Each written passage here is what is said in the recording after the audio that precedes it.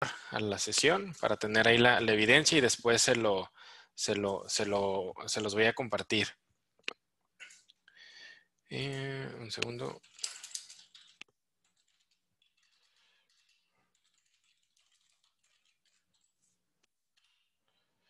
Bien, pues eh, eh, primero muchas gracias a la, maestra Rosario por, por, pues invitarnos a esta actividad. Ya tenemos ahí un tiempo pues trabajando desde antes que ella no, era compañera con nosotros aquí en el Centro de Investigación en, en CITEDI y pues ahora que, que, los está apoyando ustedes en el tecnológico, pues eh, el, año pasado hicimos la actividad que se llamó La Ciencia Viene el Tech.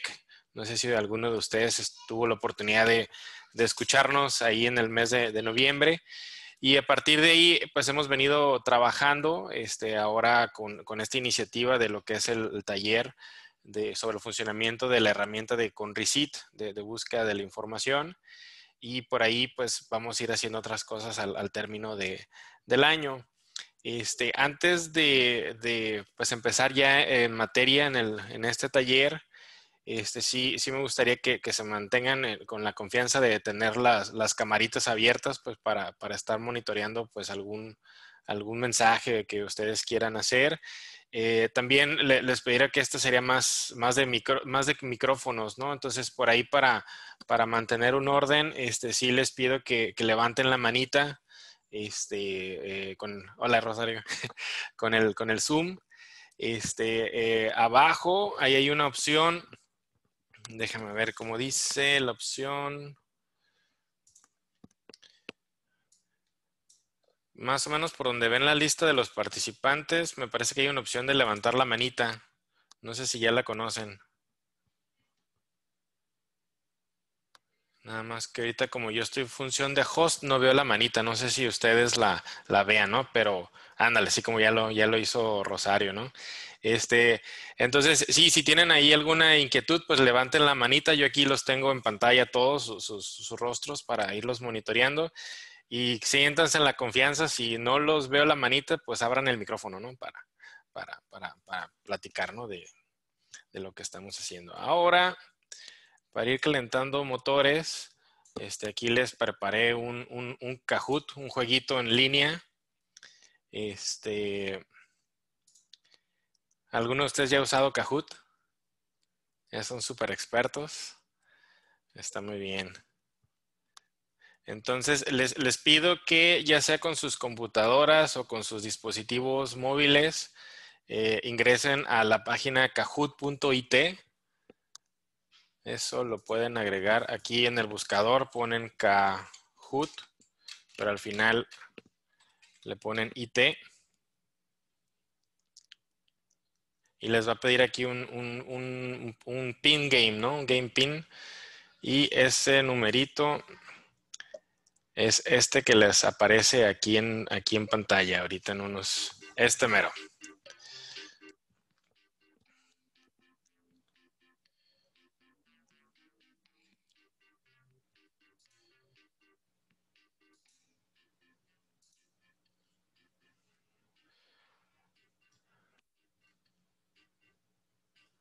Ok, ya empiezan a, aparecer.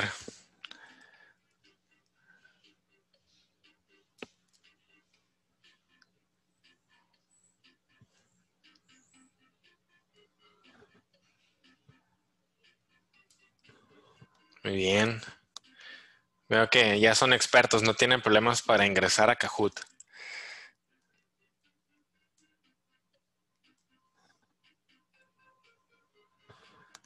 6.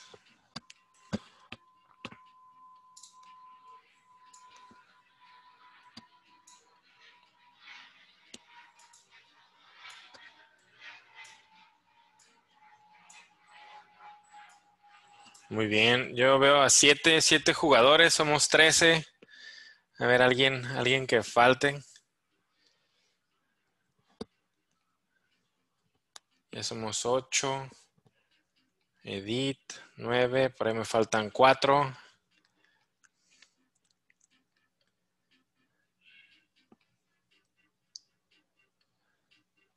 Le, levante la manita, ¿quién, quién falta? Areli, ¿no? ¿Faltas?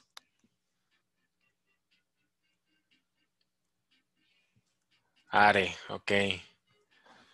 Ya somos 10. Este, no sé si Juan Juan se va a involucrar ahí en el juego. Y me falta alguien. Y alguien se fue. mi estimado. No, ok. Alguien se fue.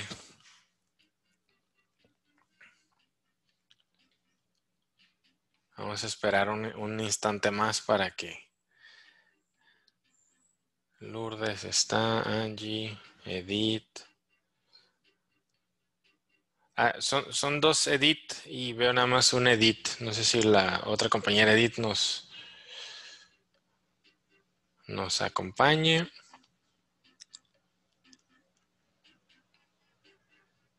Bien, pues yo creo que estamos todos los que queremos jugar. Así que vamos a, vamos a iniciar. Le voy a dar a clic aquí y van a ver ustedes en pantalla unas preguntas. Las respuestas están aquí en la pantalla que ustedes ven del, Zoom y en su dispositivo van a ver colores. Entonces ustedes pues respondan la, respuesta de acuerdo al color que, observen. ¿Sale? ¿Tienen alguna duda como cómo responder Kahoot? No, ok, todos son expertazos, perfecto. Entonces vamos a iniciar.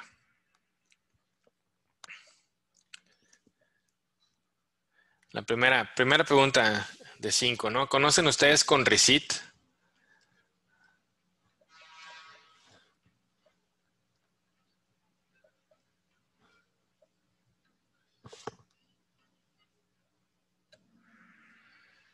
Siete sí y tres no. A ver, los que respondieron un poquito el sí, si alguien gusta abrir su micrófono y platicarme qué, conocen de la plataforma.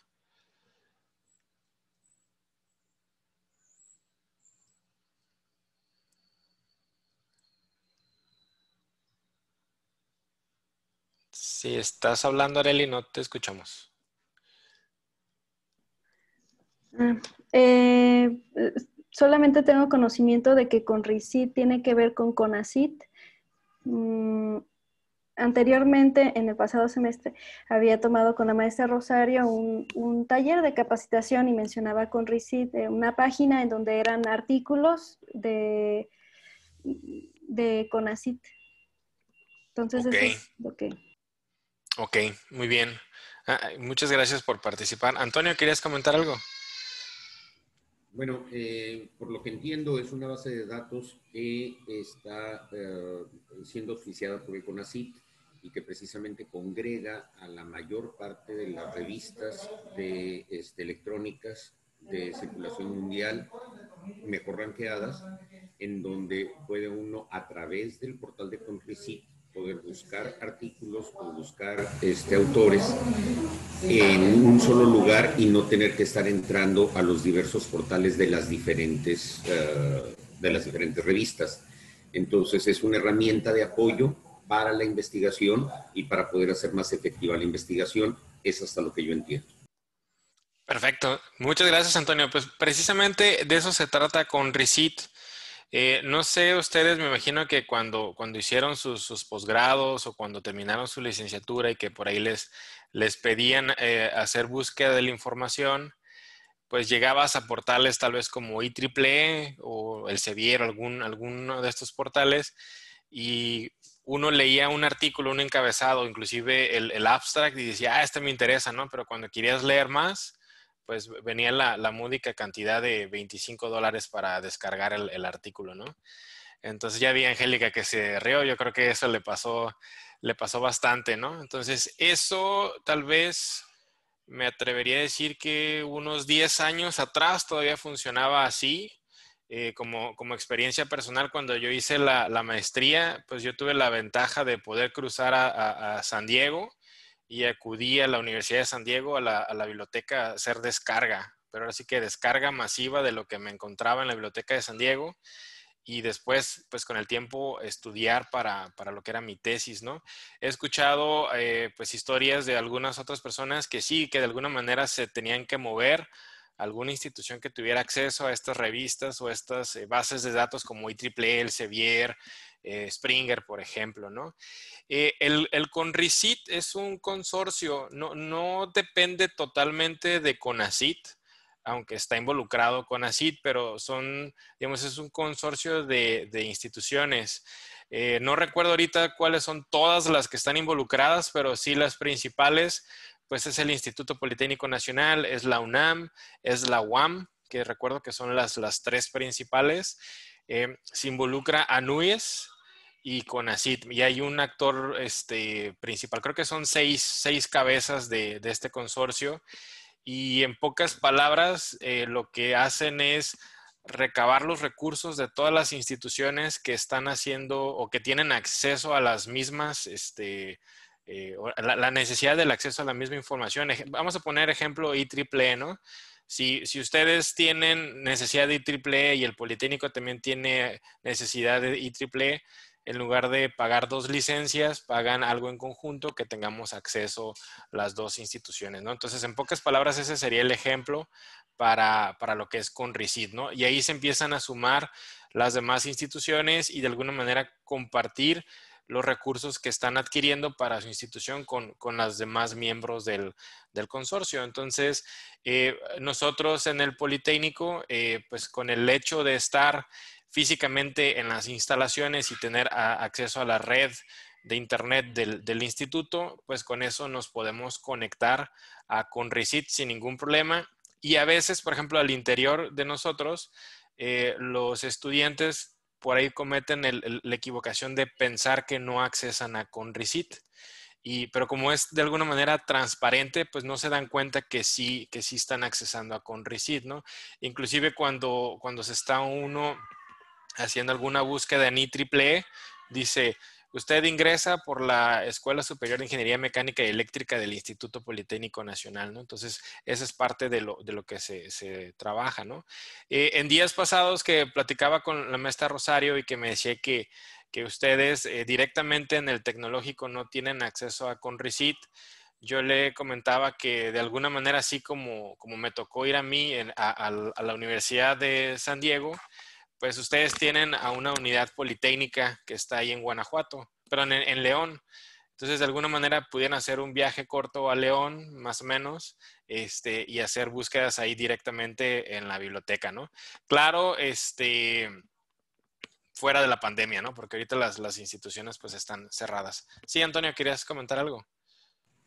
Eh, yo recuerdo cuando, cuando eh, recién empecé a tener relación con Conricit y hasta lo último que, que, me tocó más o menos trabajar con ello, recuerdo que nos decían, nos pedían al menos las autoridades del Politécnico siempre entráramos a través del portal del Conricit y no tratáramos de accesar directamente, toda vez que cada vez que intentábamos entrar era un hit, era una marca de que lo estábamos utilizando y era la manera en que se podían eh, seguir invirtiendo los recursos en esta herramienta y que nos pedían que tratáramos de utilizarlo lo más posible y que siempre que hiciéramos cualquier consulta la hiciéramos a través del Conrecit, precisamente para darle validez a todo el dinero que se, que se está invirtiendo para el acceso a estas revistas.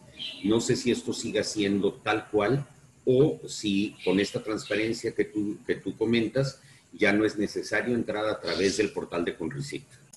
Sí, mira, es una buena observación. En el pasado era lo que, e, exactamente lo que tú dices, así funcionaba. Te pedían como que a fuerzas tú ingresaras por la puerta de Conrecit para validar que, que efectivamente el Politécnico estaba haciendo uso de la herramienta. Ahora entiendo que tienen eh, pues algunos otros filtros informáticos que a través de la Dirección de Cómputo y Comunicaciones del Poli hacen una especie de estadística de cuáles son los hits que, realmente están haciendo a Conrecit y los accesos.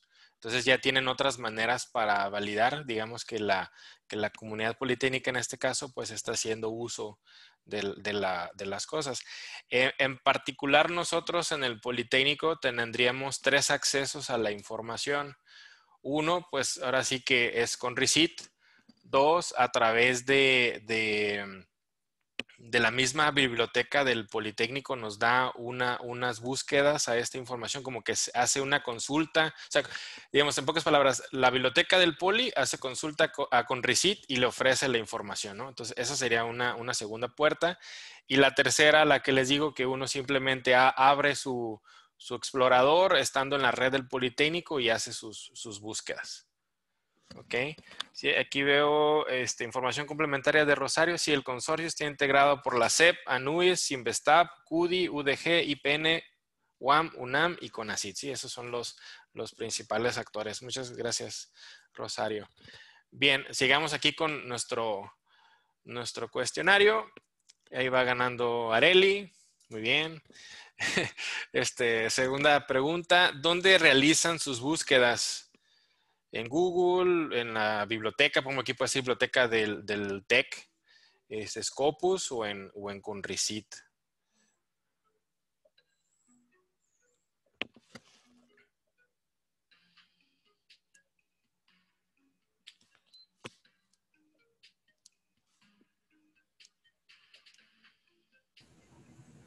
pueden poner varias. Sí, ahorita las platicamos. ¿Alguien, alguien falta?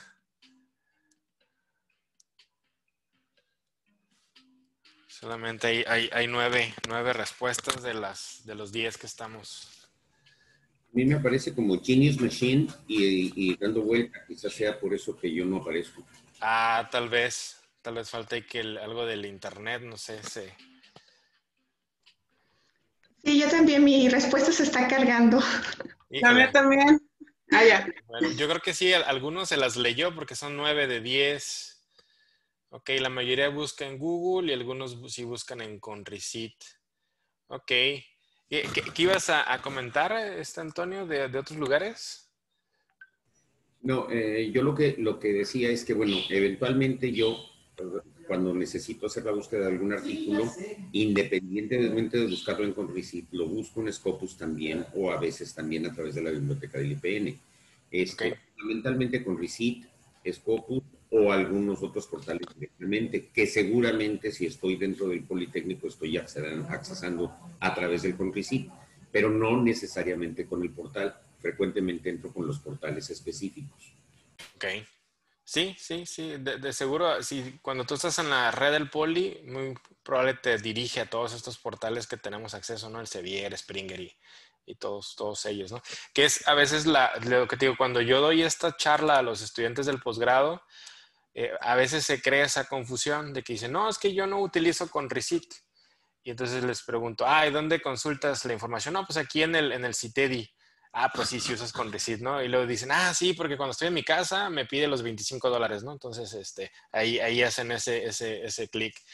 Bien, eh, ¿alguno que me quiera compartir qué hace eh, o cómo hace sus búsquedas en Google?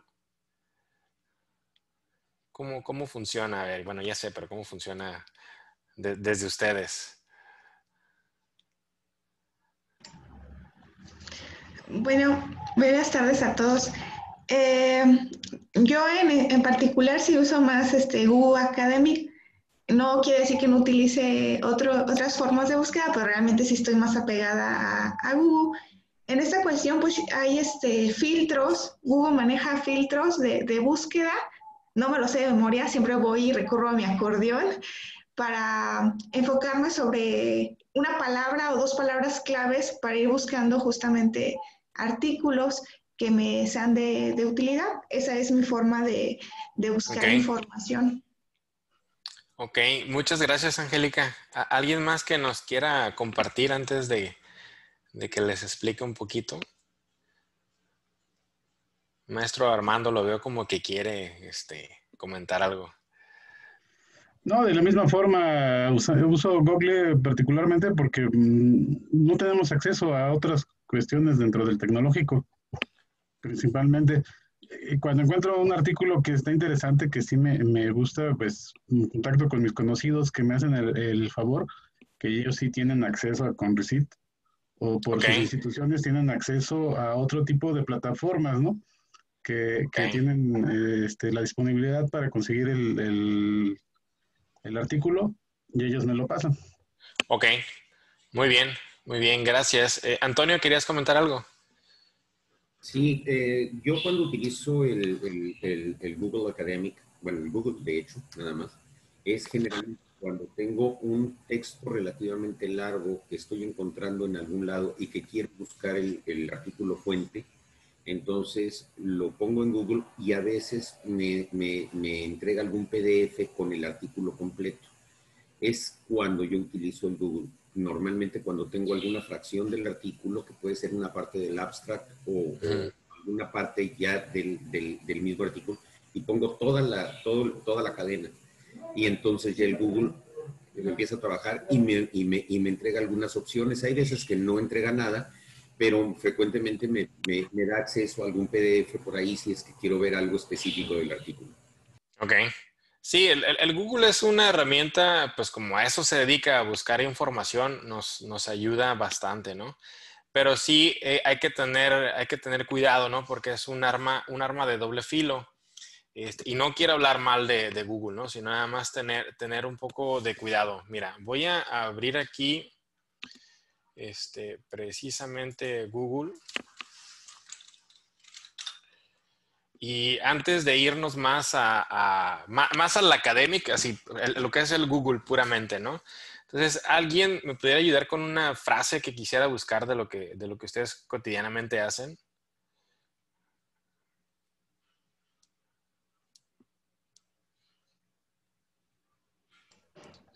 Visión por computadora. En red. A, ah, ver, le, voy a dar la palabra a Angélica. Este, no te escuché. Ah, hablaba de vulnerabilidades en la red.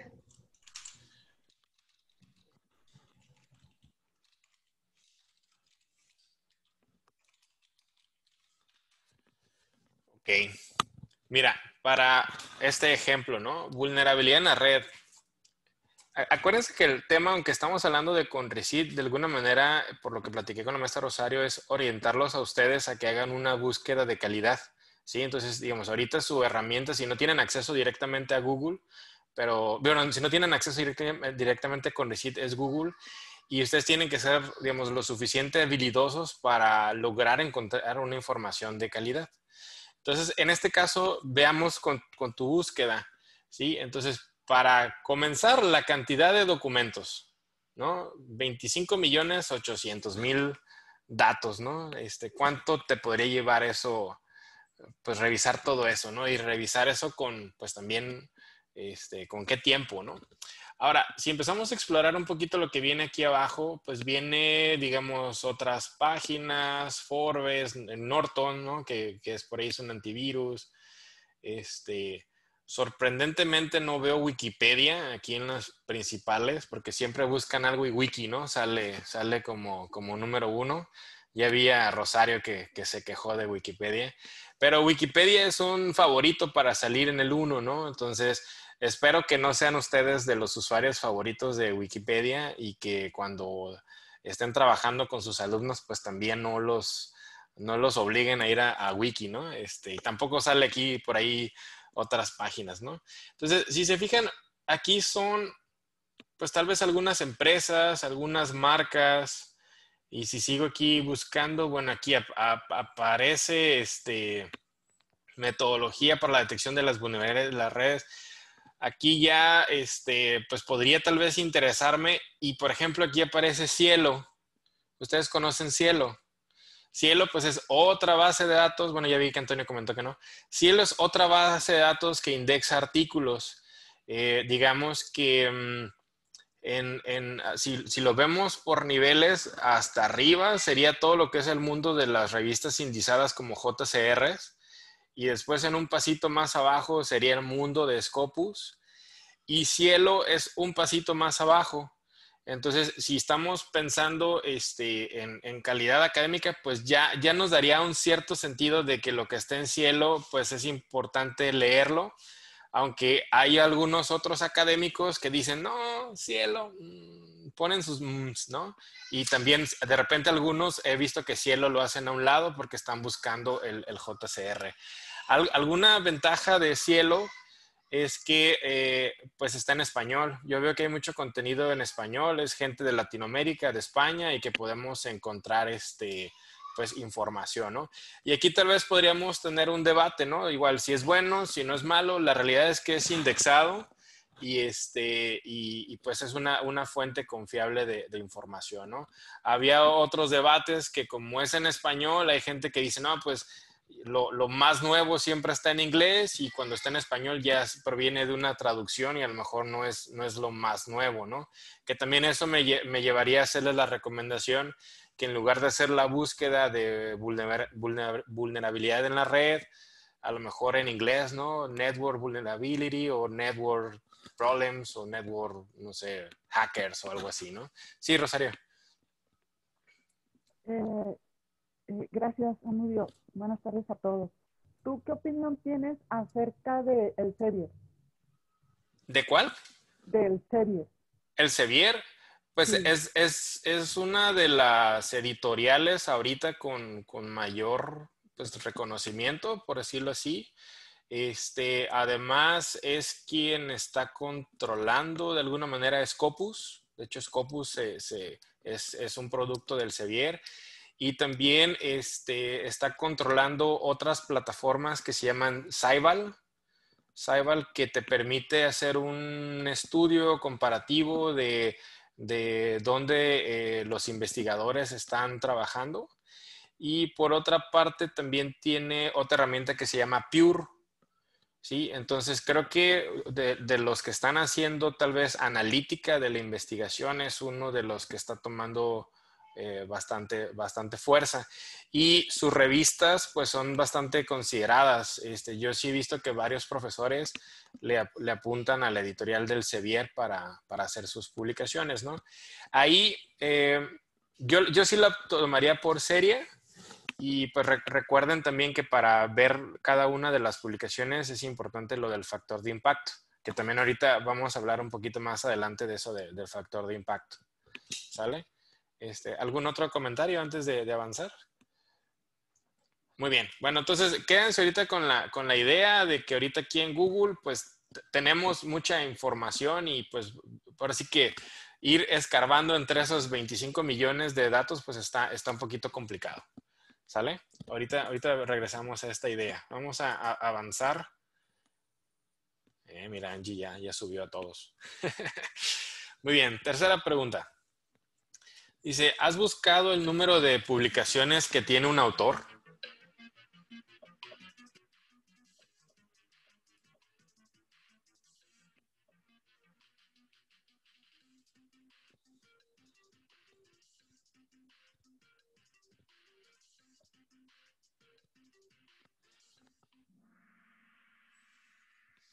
Sí y no.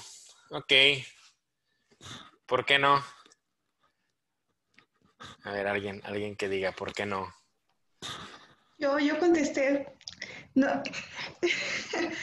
Eh, yo contesté que no, lo dudé porque eh, en ocasiones debo ser honesta que, no veo ese, ese, factor porque me interesa el tema que estoy leyendo.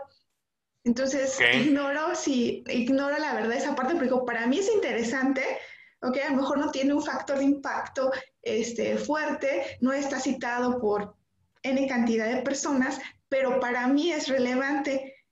Para lo que yo estoy haciendo es relevante, entonces lo tomo. Por eso dudé entre contesto sí o no. Y dije, no, la verdad, la mayoría de ocasiones, si para mí es interesante, ignoro esa parte. Ok, ok, gracias por tus comentarios. Mira, esto es interesante cómo lo, lo mencionas, porque a veces, digamos, por decirlo así, ¿no? Nos, nos damos un chapuzón del tema y con lo que aparezca, pues más o menos te, te, te, das una idea de ese tema, ¿no? Pero si estamos hablando de, de calidad, en este caso calidad académica, eh, sí nos interesa ir descubriendo quién es el, el, el cabeza de, ese, de, esa área, ¿no? Quién es el que está marcando pauta en, en, esa investigación. Y pues, aunque su número de publicaciones no, no es el todo, pero sí este... Eh, sí sería interesante conocer, digamos, de un tema, un artículo que tú estás revisando, por ejemplo, ¿quién, quién de esos es el líder, ¿no? Del, del al menos, por ejemplo, del, del, laboratorio, ¿no? Entonces, si yo veo un artículo de ustedes, eh, lo, lo, pudiéramos analizar de que, ah, ¿quién es el alumno de, doctorado, ¿no? Por ejemplo, ¿no? Entonces lo, lo identificas, ¿no? ¿Quién es el, el que está, uh, digamos, liderando el grupo de investigación? Lo puedes identificar en el artículo y si y si no es así a veces tan evidente, pues con las métricas de, los, de las publicaciones te das cuenta quién es el, líder. ¿no? Y si tú eres un paracadémico que, que te interesa trabajar esa área, pues eh, a lo mejor pues no te interesa, espero que no se escuche feo, pero a lo mejor no te interesa eh, contactar al, al, alumno, ¿no? Sino te interesa contactar al, al líder. ¿Sí? Y de alguna manera pues tengas ese acercamiento y ese crecimiento y tal vez, oye, mira, quiero visitarlo o mire, tengo estos problemas. Y, a veces o en muchas ocasiones a los investigadores les gusta que los contacten con sus trabajos, ¿no? Entonces, leí su artículo, me pareció interesante, tengo esta duda, etcétera. Y pues sería eh, al, al, líder, ¿no? Al que, al que tengas que, que contactar, ¿no? Es un poquito como digamos, el ejemplo común, ¿no? La, la, película, ¿no? Vas a ir a ver una película del, de los actores que te gustan o del director que te gusta, o, vas a ver un, digamos, un refrito con gente que no, que no, que no, que no conoces, ¿no? Entonces, ¿a cuál, cuál irías a ver? ¿Sí? más o menos así el, la, la, la, analogía, ¿sale? Entonces, vamos a aquí a avanzar con las preguntas. Eh, Luis, eh, ahí va tomando cabeza. Muy bien, Luis. Este, ¿Alguno de ustedes ha utilizado SciHub?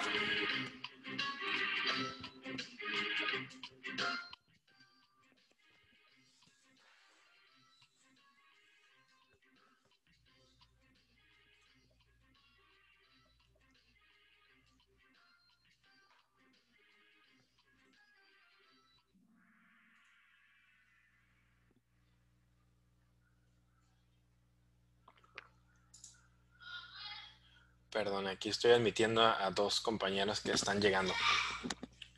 Muy bien. SciHub. Sí y no. ¿Quién fue el valiente que dijo que sí? Yo.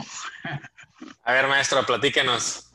No es muy honesto, pues, pero en, en alguna ocasión, sobre todo cuando, mmm, bueno, antes de tomar la decisión de contactar a, mi, a mis conocidos, Mm, porque es eso, ¿no? Primeramente, como no encontraba descargar unos artículos, pues me fui a SciHub.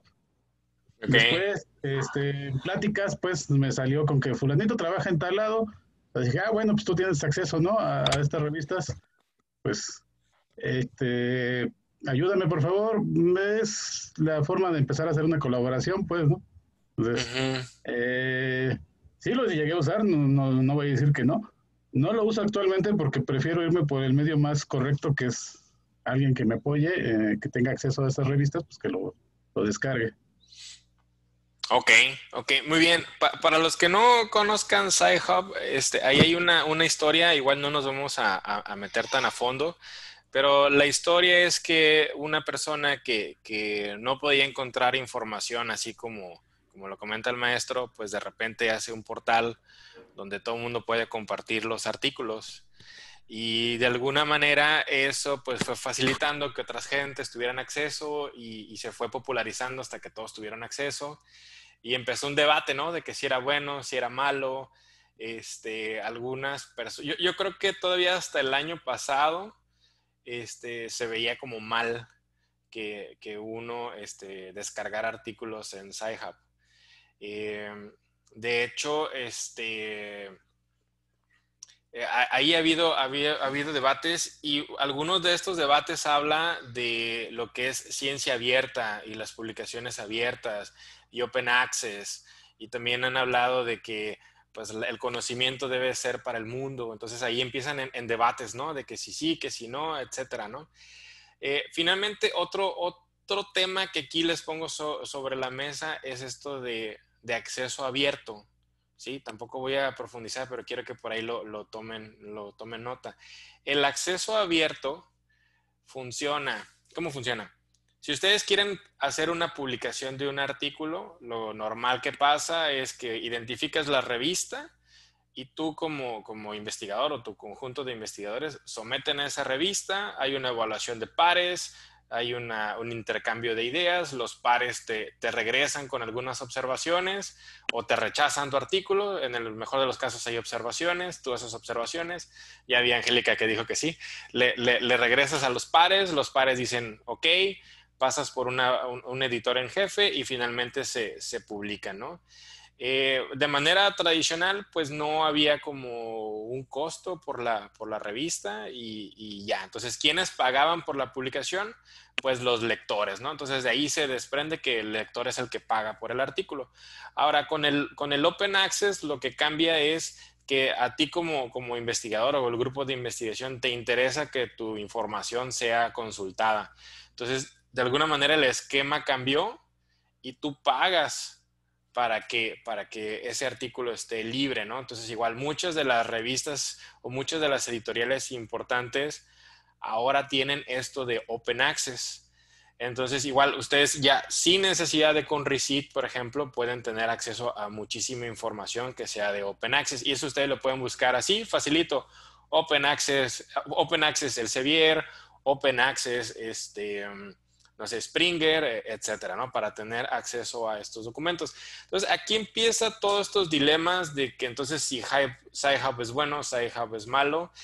Eh, lo que sí supe recientemente es que de alguna manera el estatus de la que originó Sci-Hub cambió y en lugar de ser la mala, ahora la ven como buena y entonces, este, pues gracias a ella, no, no quiere decir que gracias a ella se dio el tema de open access, no, no estoy diciendo eso, sino que de alguna manera está contribuyendo al acceso de la información y si mi memoria no me falla, es precisamente el Sevier quien, quien le da un como, como agradecimiento por fomentar que, que, haya una apertura a la, información, ¿no? Entonces, por ahí vi algunas notas que Sci-Hub se convertía un poco como el Robin Hood, ¿no? De que le quitaba a los ricos para darle a los pobres. Y, entonces ya como que no empieza a ser tan mal visto este Sci-Hub, ¿no? Igual, aquí lo recomendable, este, pues ustedes tengan su propio criterio y si de alguna manera tienen forma de acceder pues, este, adecuadamente a sus artículos, pues háganlo de manera adecuada. No quiero satanizar a Sci-Hub, tampoco quiero decir que es eh, malo, pero lo quiero poner como ejemplo porque como Sci-Hub hay muchos lugares eh, eh, por ejemplo, hay algunas personas que no hablan mucho de, ResearchGate. Sí, a mí en lo particular también me parece que ResearchGate, y espero que nadie venga aquí a, reclamarme porque es una opinión muy personal, ResearchGate este, también es una forma de compartir artículos este, eh, que a lo mejor no es totalmente legítima. Sí, entonces yo pongo mi artículo, pero no sabemos si si realmente le, por ejemplo, si Angélica tiene su publicación, ¿no? Hay, unos lineamientos que, la, misma editorial menciona para que tú puedas compartir el artículo, ¿no? Entonces, a lo mejor tú lo subes en ResearchGate, pero, pero a lo mejor estás cayendo en una falta con, con la editorial, ¿no? Entonces sí hay que tener ahí este cuidado. O este, artículos yo he visto que pues no se ven totalmente de una calidad tal y los autores lo ponen ahí, ¿no? Pero pues está en ResearchGate y algunos pues como dicen, no, pues es una red social de investigación, lo toman como, como bueno. Entonces sí, aquí hay que tener este, cuidado en eso, ¿no? Igual ahorita los dejo con, con paréntesis. Manda, Antonio. Eh, solamente preguntar, ¿quién es el que decide subir qué artículos a estos portales? Entiendo que ResearchGate es, el, es cada uno de los autores. Y para el de es, eh, SSI Hub, no, no, me acuerdo cómo lo, lo, lo, pronunciaste. Sci-Hub, ajá. Sci-Hub. Eh, ¿Ahí quién sube los artículos? no te sabría decir la respuesta correcta de quién sube a SciHub, pero me da la impresión que funciona como antes la música. No sé si se acuerdan que uno compartía su carpetita y otros su carpeta en los diferentes lugares de música que fue en el pasado, ¿no? Y al ratito, digamos, es una, un compartidero de música. Entonces, no, yo la verdad, honestamente no me he metido de cómo se comparte, pero me da la impresión que es algo así de que, de que pues yo pongo mis artículos disponibles y que alguien lo descargue cuando lo tenga que, descargar.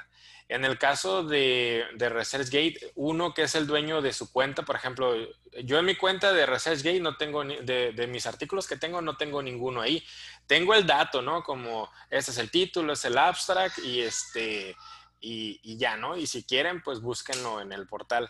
Ah, honestamente, en ResearchGate a mí me han llegado varios mensajes de que me dicen, oye, busco tu artículo, ¿me lo puedes compartir? Y la verdad, yo no me he dado el tiempo de mis artículos, cuál es la política de las revistas. Entonces yo les, contesto, no, no te lo puedo compartir, ¿no? Tristemente. Entonces, porque no, no, no estoy, este, no, no, no, tengo ese control. Tú como autor, eh, pierdes el control de tu artículo, por decirlo así, cuando se lo entregas a la revista. De hecho, tú firmas que le entregas los derechos de ese, de ese artículo y como se convierte en un producto comercial, por decirlo así, este, la, la, revista es la que tiene todo eso, ese manejo, ¿no? Entonces, si hay unos lineamientos que dicen, bueno, es tu copia, a lo mejor lo puedes compartir con tu grupo de investigación, o lo puedes compartir con tus estudiantes o ahí mismo en tu institución, pero en algunos casos esto de compartirlo libremente por la red no te lo dejan, ¿no? Este, eso, eso hay que tener cuidado ustedes como, como autores, ¿sale? Para, para tener esa, esa información. Bien, vamos a avanzar. Este, última pregunta es, ¿en qué tipo de proyectos participan ustedes?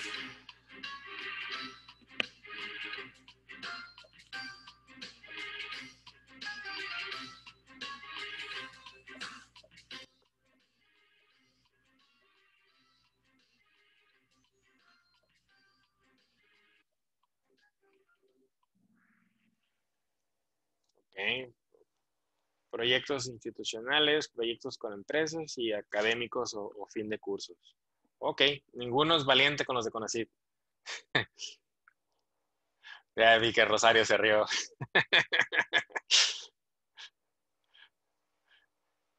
Abran los micrófonos, a ver, comparten. no, no se, no se preocupen.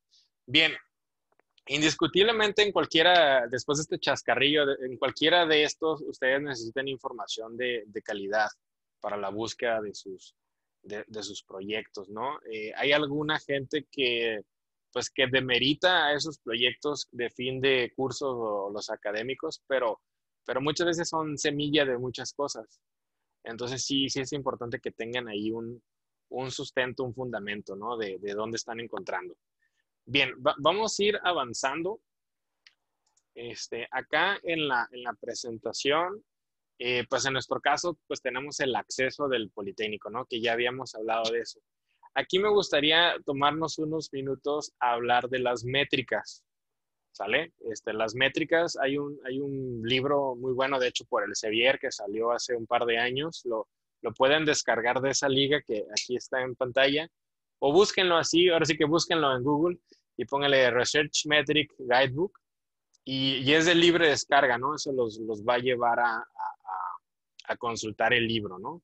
Eh, ¿Qué encontramos en estas métricas? Así, eh, de manera muy genérica, este, hay unas métricas a nivel revista, hay unas métricas a nivel artículo y otras métricas a nivel de, de autor, ¿no? Entonces, nivel revista, son estas métricas como el site score o el SIMAGO o, el, o el normalize, que es el, SNP. Y por ahí este, se puede considerar lo que son las JCR. Entonces, ¿qué quiere, qué quiere decir con eso? Es, digamos, es, es, lo más alto de la investigación y que la, digamos, la ley, la ley de, de las JCR está en Web of Science. Eh, a través de Conrecit ustedes pudieran tener acceso a Web of Science y validar si una revista es JCR. Entonces, eh, digamos, en pocas palabras, si la revista está en este nivel, a ustedes les da una certeza muy rápida de que la, la investigación que se encuentre ahí puede ser de lo, de lo, más reciente, de lo más destacado, fue hecho, digamos, bajo los estándares mundiales de, de calidad a la investigación y, les puede dar una pauta de que lo que van a encontrar es, interesante. Eh, si ustedes no tienen acceso a, a, a por lo que me comentan, lo que sí pueden es ir a, las páginas de las revistas y ver qué información les da. ¿Ok? Y también un poco de conocer su núcleo. ¿A qué me refiero con esto? Eh, es evidente que tal vez IEEE, Springer, el Sevier, este, eh, pues son a lo mejor editoriales que supongo que todos ustedes han, escuchado, ¿no? Pero de repente les aparece, este, no sé, una revista que sea, eh, no sé, voy, a tomar el nombre de su ciudad, ¿no? International Journal of All of These Engineerings from Guanajuato, ¿no? Y, eso hemos encontrado muchos que dicen, empiezan con esta frase, International Journal, ¿sí? Y muchos, muchos de los que buscan información, solo con el hecho de ver International Journal, ya, ya, o sea, dicen, ya, con eso vale, ¿no?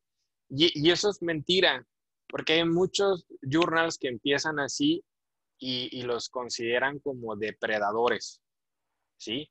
Eh, a, qué, ¿A qué me refiero con eso? De que no son revistas, digamos, de impacto, eh, hay investigadores que tienen esta necesidad de publicar. De hecho, ahí hay una frase que es publica o mueres, o sea, porque hay una cierta presión a que, a que publiques. Entonces dicen, ah, pues mira, está este International Journal of Guanajuato y, le, le, digo, ¿no? Y aparte me dice que es Open Access y, órale, ¿no? Me, lo van a publicar muy rápido. Entonces, sí hay que tener cuidado, digamos, desde dos puntos de vista. Si ustedes son los que van a publicar, pues darse cuenta que la revista es de calidad, ver, digamos, lo, más sencillo ahorita es tener la herramienta de Web of Science, pero si no, investigar un poquito de la, de la revista con los colegas, si está o no está. Oye, tú ya publicaste en la de Guanajuato, ¿qué te pareció? Etcétera, ¿no? Entrar a la página y, y consultar qué es lo que dice la página. Muchas de las veces dice, sí, mi revista está indizada, y ya, ¿no? Otro es palomita, ¿no? Está indizada, está perfecto. Y los dicen factor de impacto 20 mil, ¿no? Por decir un número exagerado, ¿no? Entonces uno como que se emociona y dice, órale, ¿no?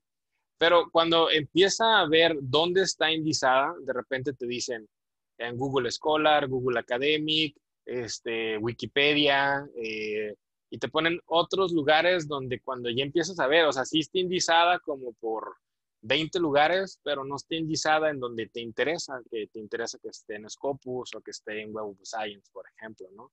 Entonces, si tienes forma de validar la, la, información, a lo mejor te va a costar un poquito más, el camino es un poquito más largo, pero sí tienes forma de validarlo, ¿no? De, de si lo que tú estás descargando es, es, adecuado, ¿no?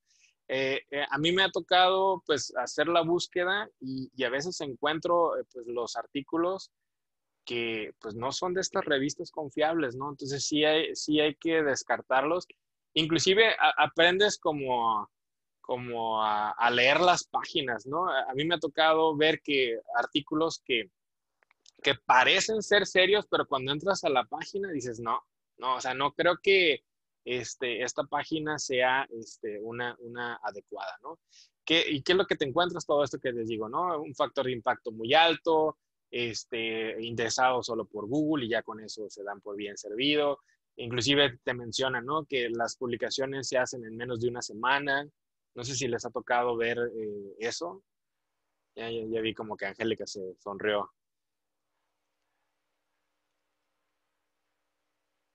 Sí, sí te ha tocado verlo, Angélica. Sí, y digo, ay, se pasan. Ni yo puedo leer en una semana lo que hice para ver dónde están mis errores.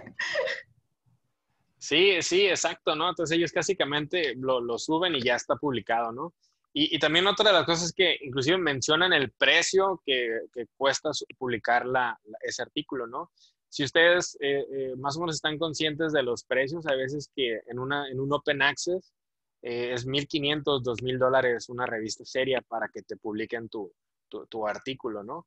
Entonces que de repente te digan, no, pues te subo tu artículo por 50 dólares, pues mm, no, como que ahí hay algo, hay algo raro, ¿no? Entonces sí deben de tener en cuenta esa información, pues para ir de alguna manera eliminando los artículos, ya sea que ustedes estén consumiendo la información o que quieran publicar su artículo, pues es importante que vean estas métricas de, de a nivel revista. Hay, hay otras métricas que son bastante nuevas que le llaman Plum X, ¿sí? Y ahora resulta que están midiendo qué tanto impacto tiene esa publicación, pero en las redes sociales. Es decir, ¿no? Ya publiqué mi artículo, está, no sé, en cualquier editorial de prestigio y le pongo compartir en mi Facebook, compartir en mi LinkedIn, ¿no? Compartir en mi otra red social, ¿no? Y que la gente empiece a platicar o a conversar de ese artículo Ojo que lo que tú haces como investigador no es compartir el PDF del artículo, sino tú, digamos, te metes el Sevier, le das clic compartir a mi Facebook y haces como, como, una, digamos, como una copia de la información en la red social que tal vez diga el, nombre del artículo, tal vez el abstract, porque eso sí es público, y el vínculo a donde, a donde vayan y lo, y lo descarguen, ¿no? Entonces, igual, si tienen su acceso con Receipt, pues lo van a poder consultar. Entonces, estas métricas empiezan a demostrar qué tanta la gente habla de ese artículo, pero en redes sociales, ¿no? Yo ahorita no he visto que para medir la investigación en México utilicen estas métricas, pero finalmente existe este tipo de, métricas y es importante que ustedes la, la consulten. Un dato que se utiliza bastante común son las citas. ¿Ok?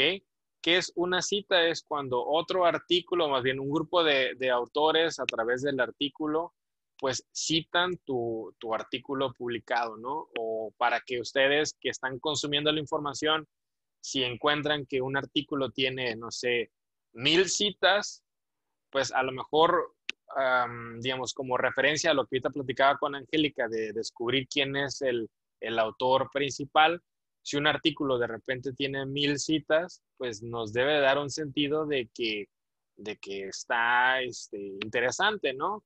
Eh, lo mismo pasa en los videos, ¿no? Entramos al, al YouTube, vimos, este video tiene 15 mil millones de reproducción, ah, quiero verlo. ¿Sale? O sea, nos da un sentido de querer ir a ver el, que tiene muchas reproducciones, ¿no? Entonces, lo mismo en los artículos, tenemos que ver que tengan muchas citas y nos debe dar un sentido para ver que, que ahí hay algo, algo interesante para, para leer. Ojo, hay de citas a citas, ¿ok? Y dónde verificar las citas. De aquí se vuelven esos niveles.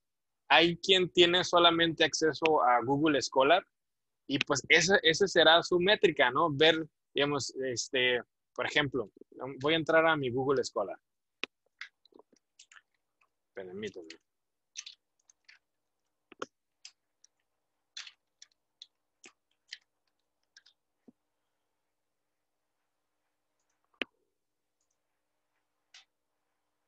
Aquí está. Este es mi, Google Scholar, ¿no? Y ustedes pueden ver que este artículo que sacamos en 2018 es el que tiene más citas de los que tengo, ¿no? Entonces, si solamente tienen acceso a Google Scholar, pues esta va a ser su métrica. Solamente quiero decirles que Google Scholar te enlista las citas de lo que sea. Es decir, si, mañana ustedes eh, les hacen una entrevista, no sé, en el periódico de la ciudad de Guanajuato y eh, quieren hablar de su artículo y de repente ponen, este, la doctora Angélica tuvo este artículo y ponen el artículo, ¿no? De alguna manera, Google es habilidoso para contarte eso como cita. ¿Ok? Eh, dependiendo la métrica, hay algunos que toman esa cita como buena, porque finalmente es una cita. ¿Sale? Pero cuando empiezan ustedes a, ir subiendo de nivel, hay algunos que dicen, a ver, no, espérate, esa cita no. Eh, a ver, te lo citó otro artículo que es Scopus. Entonces, cambia el número de citas. ¿Y cómo, cómo, lo puedes ver? A través de Scopus. En Scopus ves las citas que solamente eh, te citan otros artículos Scopus que están indizados en Scopus. Scopus es un indizador, así como, como les comentaba ahorita de cielo, pero en un nivel más alto. ¿Ok? El, de Scopus. Y muchos de la investigación se basa en Scopus. Y hay algunos otros profesores y métricas que te dicen, momento, momento, Scopus sigue siendo así chafita, ¿no? Por, por decirlo de alguna manera. A mí me interesa Web of Science. Entonces te dicen, yo quiero saber cuáles son las citas en Web of Science y ese es, digamos, ahora sí que citados entre la élite, ¿no? De, entre JCRs. Eso sería Web of Science. Para algunas métricas de la investigación de calidad piden solamente que las citas sean en Web of Science.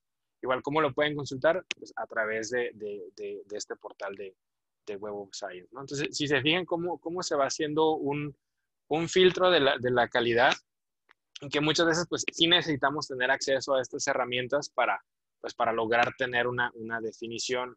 Ahora, dentro del mundo de las citas, aquí en, la, en, la, en la presentación que dice, hay unas métricas a nivel de, de, autor e institución. Entonces, hablemos del índice H. Y aquí voy a poner de, de ejemplo de nuevo este, mi, mi Google Scholar, ¿no? Entonces, el índice H quiere decir que es el, número de publicaciones similar al número de artículos eh, que tengan una cita. Suena así medio complejo, pero vamos a, a, reducirlo, ¿no? ¿Qué quiere decir? Ustedes, si ven aquí este, mis artículos, pues tengo más de 10, ¿no? Aquí enlistados me dice que tengo un índice H porque quiere decir que cuatro de mis artículos tienen al menos cuatro citas. ¿Sale? Eso es índice H. Que cuatro, o sea, si es cuatro, es que cuatro de mis artículos tienen cuatro citas.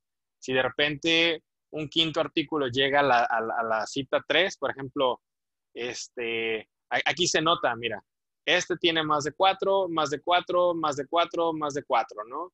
Estos tienes tres. Si alguno de estos dos artículos llegara a tener cuatro citas, yo sigo siendo índice cuatro. ¿Sale? Si este que tiene tres llega a tener cuatro citas, sigo siendo índice cuatro. Si uno de estos dos llega a tener cuatro citas, sigue siendo índice cuatro.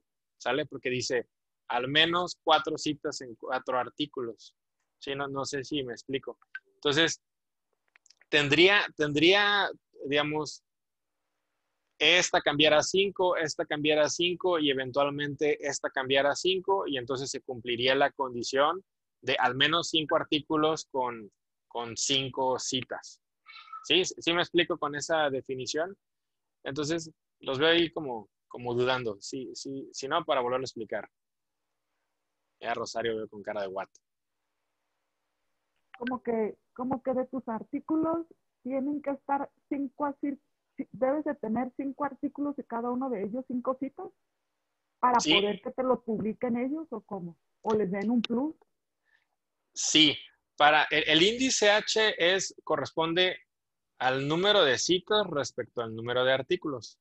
Entonces, aquí está el ejemplo, ¿no? Yo soy índice 4 según el Google Scholar y se cumple porque dice, estos cuatro artículos si lo ven, tienen cuatro citas. Estos que tienen 10, pues, o sea, cumplen, o sea, cumplen el 4 aunque se pase y llegó a 10, pero tiene cuatro, al menos cuatro citas, ¿no? Y este de 15, lo mismo. Entonces, cuatro de mis artículos tienen cuatro citas. Entonces, ahí se cumple la condición y a mí Google me da que soy índice 4, índice H4. Entonces, no puedo ser 5 si este 3 se convierte en 4. ¿ok? Porque se sigue cumpliendo la condición. Cuatro, al, menos cuatro artículos tienen cuatro citas. Entonces, aunque este sea cuatro y en la sumatoria sean cinco artículos con cuatro citas, yo sigo siendo índice cuatro. ¿Sale? Entonces, este tres tendría que convertirse en cinco y este cuatro en cinco y este otro cuatro en cinco. Y entonces ya habría cinco artículos que cumplen la condición de tener al menos cinco citas. ¿Sale? Ahora, sí, ya, ya, nos, ya nos entendimos. Entonces, esta es otra forma de ver la investigación. ¿Tienes un comentario, Antonio?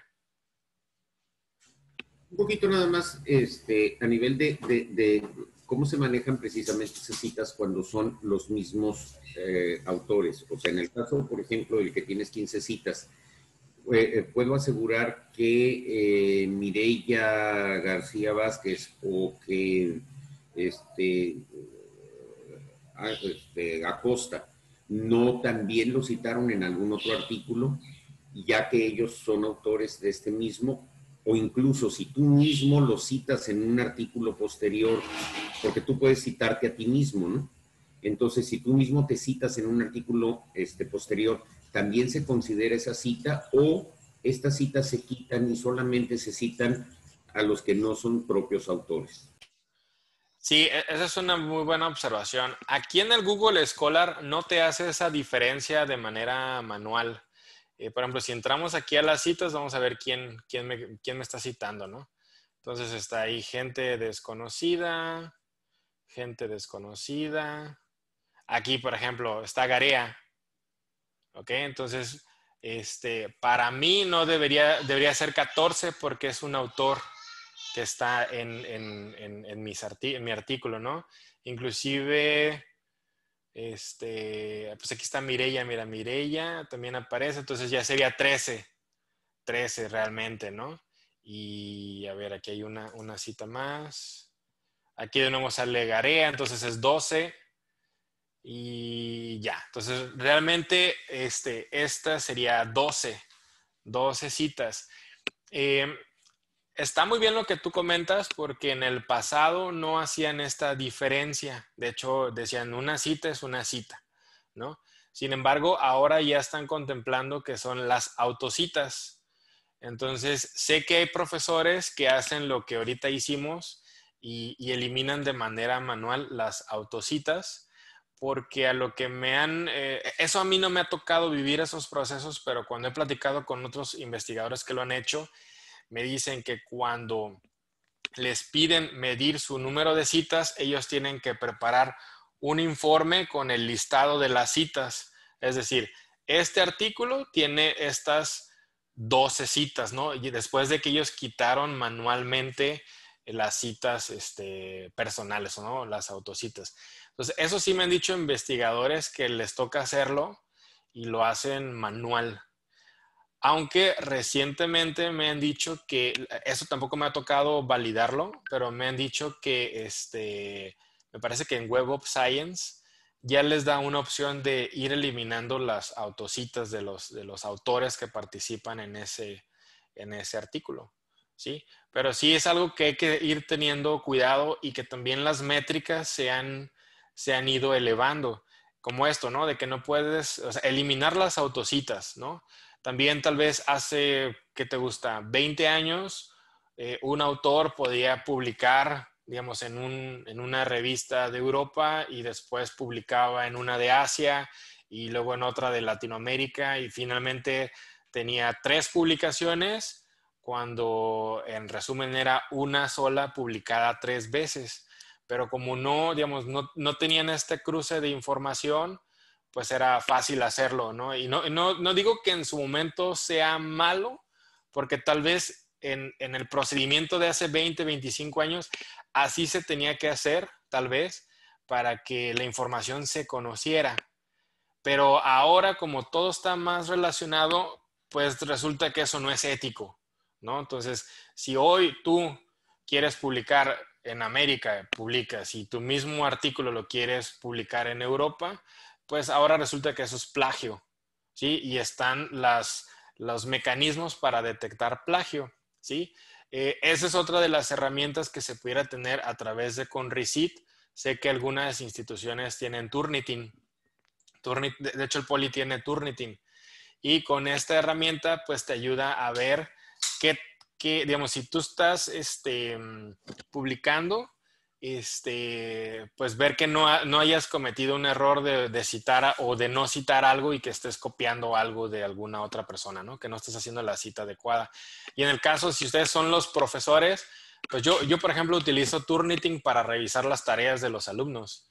Entonces me mandan la información a través del portal de Turnitin y ya puedo ver de, de, dónde están copiando, ¿no? Y rápido sale Wikipedia, ¿no? Entonces, tache, ¿no? Este, bueno, no, no, no sale Wikipedia, pero sí luego salen artículos donde, donde copiaron un buen párrafo de, de, texto, ¿no? Entonces ya tenemos ahí un argumento y pues eso se va, como están en una etapa formativa, pues se va, se va corrigiendo. Afortunadamente no me ha sucedido que me aparezca que se están copiando entre alumnos, eso no me ha parecido, pero pero el Turnitin sí, tiene esa fortaleza de decir, ah, mira, este, el alumno A le está copiando al B o el B al A, ¿no? Y estos, estos textos son, son similares.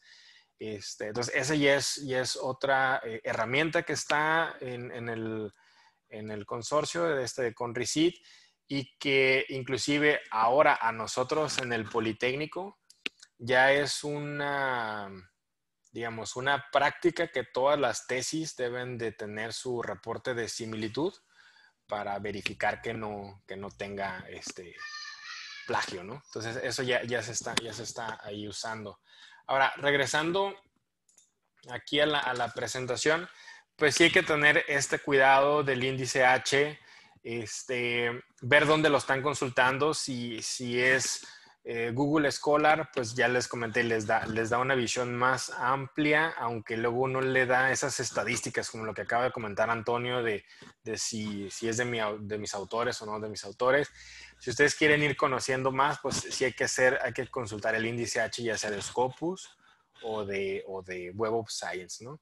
Eh, y eso, pues como lo platicamos hace unos instantes, también nos permite ver quién es el profesor que está o quién es el investigador que está pues eh, dando esa tendencia y si yo necesito profundizar en ese tema, pues contactar a ese investigador, ¿no?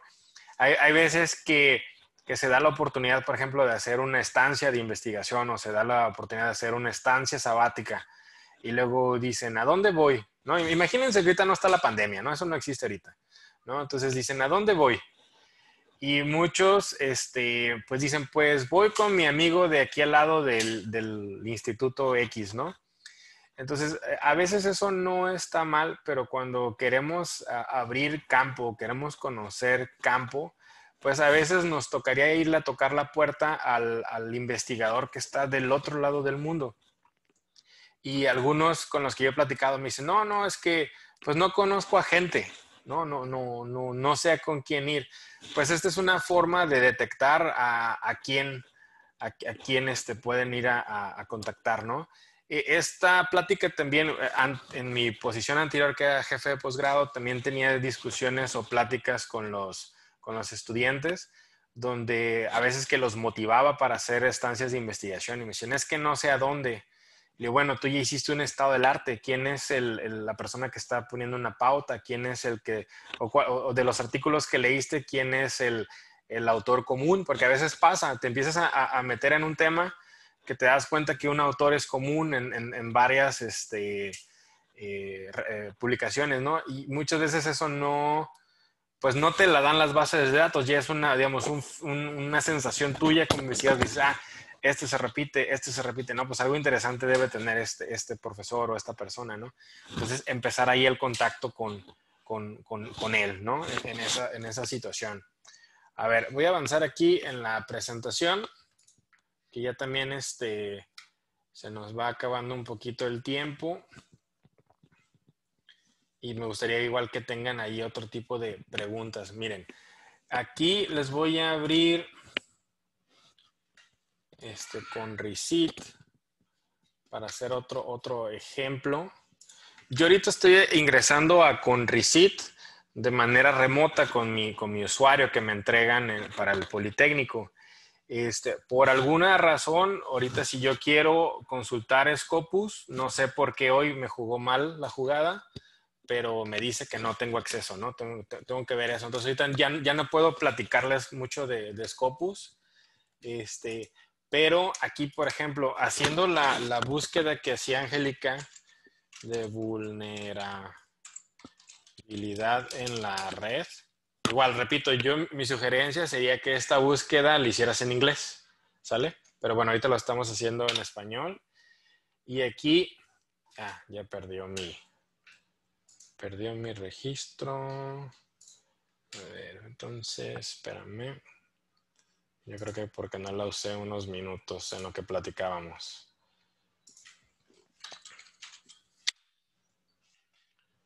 Vulnerabilidad en la red. Me pide usuario y contraseña. Ok. Espérame tantito para conectarme.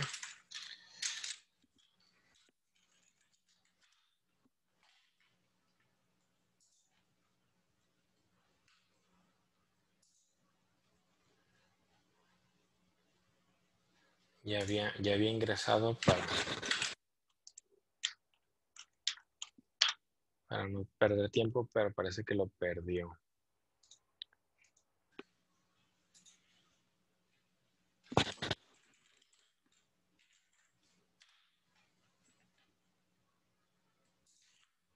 Aquí está. Les voy a ingresar con mi usuario.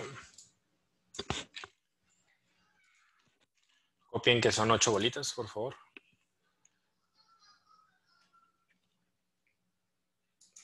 Entonces, ya aquí me da una, eh, un listado de información, pues si te fijas, más reducido, 6000, 6000, 6100. ¿Sí? Este, espérame que algo hice. Acá está. Ya los volví a ver. Sí. Entonces, si te fijas, Angélica, ahora pues tu búsqueda es menor. Sí, aunque igual consultar los 6000 está un poquito complicado, pero ya te permite ir, ir un poquito pues más al, al, detalle, ¿no? Entonces, vamos a ver si me deja consultar algo. Mira, aquí están los Open Access que les hablaba hace ratito, pero no quiero abrir un Open Access. A ver este.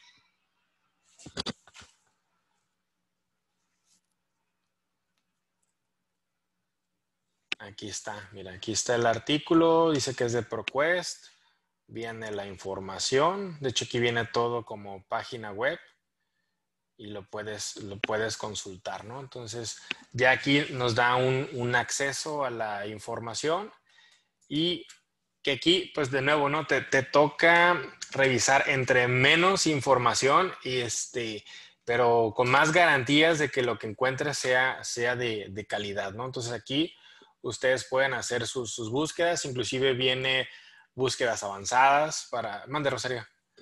Eh, ¿Supiste que era Open Access porque dice texto completo en línea? No, supe que era Open Access porque literalmente dice Open Access. Ah, ok. Entonces, si trae Open Access con un candado abierto, el texto va a estar completo. Y no es necesario que ingreses. Por ejemplo, nosotros que no tenemos cuenta ni nada con Conrecit, tenemos que checar ese pequeño detalle. Sí, yo lo que haría, por ejemplo, aquí, aquí en Conrecit, digo, ustedes que no tienen un acceso directo a la, al, al Conrecit, yo lo que haría es ver el acervo editorial, que aquí dice recursos del consorcio.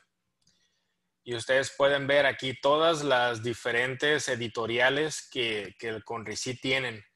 Entonces yo lo que haría es poner en Google, digamos, este, ¿no? Si a ustedes les interesa algo de química, pues no sé, ACS Chemistry for Life Open Access. Sí, buscaría otra revista, ¿no? Este, por ejemplo, esta de física. Eh, el, American Institute of Physics Open Access. ¿sí? Muchas de estas revistas ya deben de tener su versión Open Access. A lo mejor les, a lo mejor les va a dar información más reciente, no sé, de los últimos eh, cinco años, ¿no? Pero si están haciendo investigación de un doctorado o algo así, pues es, la información que, necesitan. Entonces, sí veo que puedan encontrar información, eh, tal vez no necesariamente conectándose directamente a, a, a. Ese, ese sería el índice de revistas que tiene CONACIT o el índice de revistas de todas las instituciones que forman el consorcio. Este es el índice de revistas eh, ajá, que las instituciones que están en el consorcio ponen disponible para CONACIT. El índice de revistas del CONACIT, ese es otro tema. Sí, ese es, digamos, es, algo que el, que el, CONACIT tiene una forma de tener su listado de, revistas que, igual no necesariamente son open access o no necesariamente puedes eh, este, consultar la información de esas revistas, ¿no? Pero sí, sí es otra cosa. Si ustedes quieren ver este, igual por, por, la institución, aquí, aquí lo pueden este, consultar por institución, así como, como el, el, el, maestro Armando, ¿no? Que comentaba, no, pues yo tengo un colega que tiene, entonces pues le pedí el apoyo, ¿no? Entonces yo les recomiendo que vayan al, al, al, poli ahí en León, ¿no? Entonces a lo mejor si ustedes tienen este, sí, este, CIMAT, ¿no? Que está ahí cerquita, a lo mejor CIMAT tiene un acceso entonces, este, pues ver a mejor aquí algún recurso que tenga CIMAT o que tenga los centros CONACIT para, para poder visitarlo, ¿no? O a lo mejor la Universidad de Guanajuato también tiene ciertos accesos y aquí podrían verificar, ¿no? Aquí vamos a buscar universidad. Este, ¿Es directo de Guanajuato o es Universidad Autónoma de Guanajuato? De Guanajuato. De Guanajuato. Universidad Aquí está, mira. Entonces, si tienen algún colega en, la, Universidad de Guanajuato, pues a lo mejor podrían ahí visitarlo, ¿no? Y tener el acceso a, a Conricito más, más cerca que la ida León. este, en, este, en este sentido, ¿no?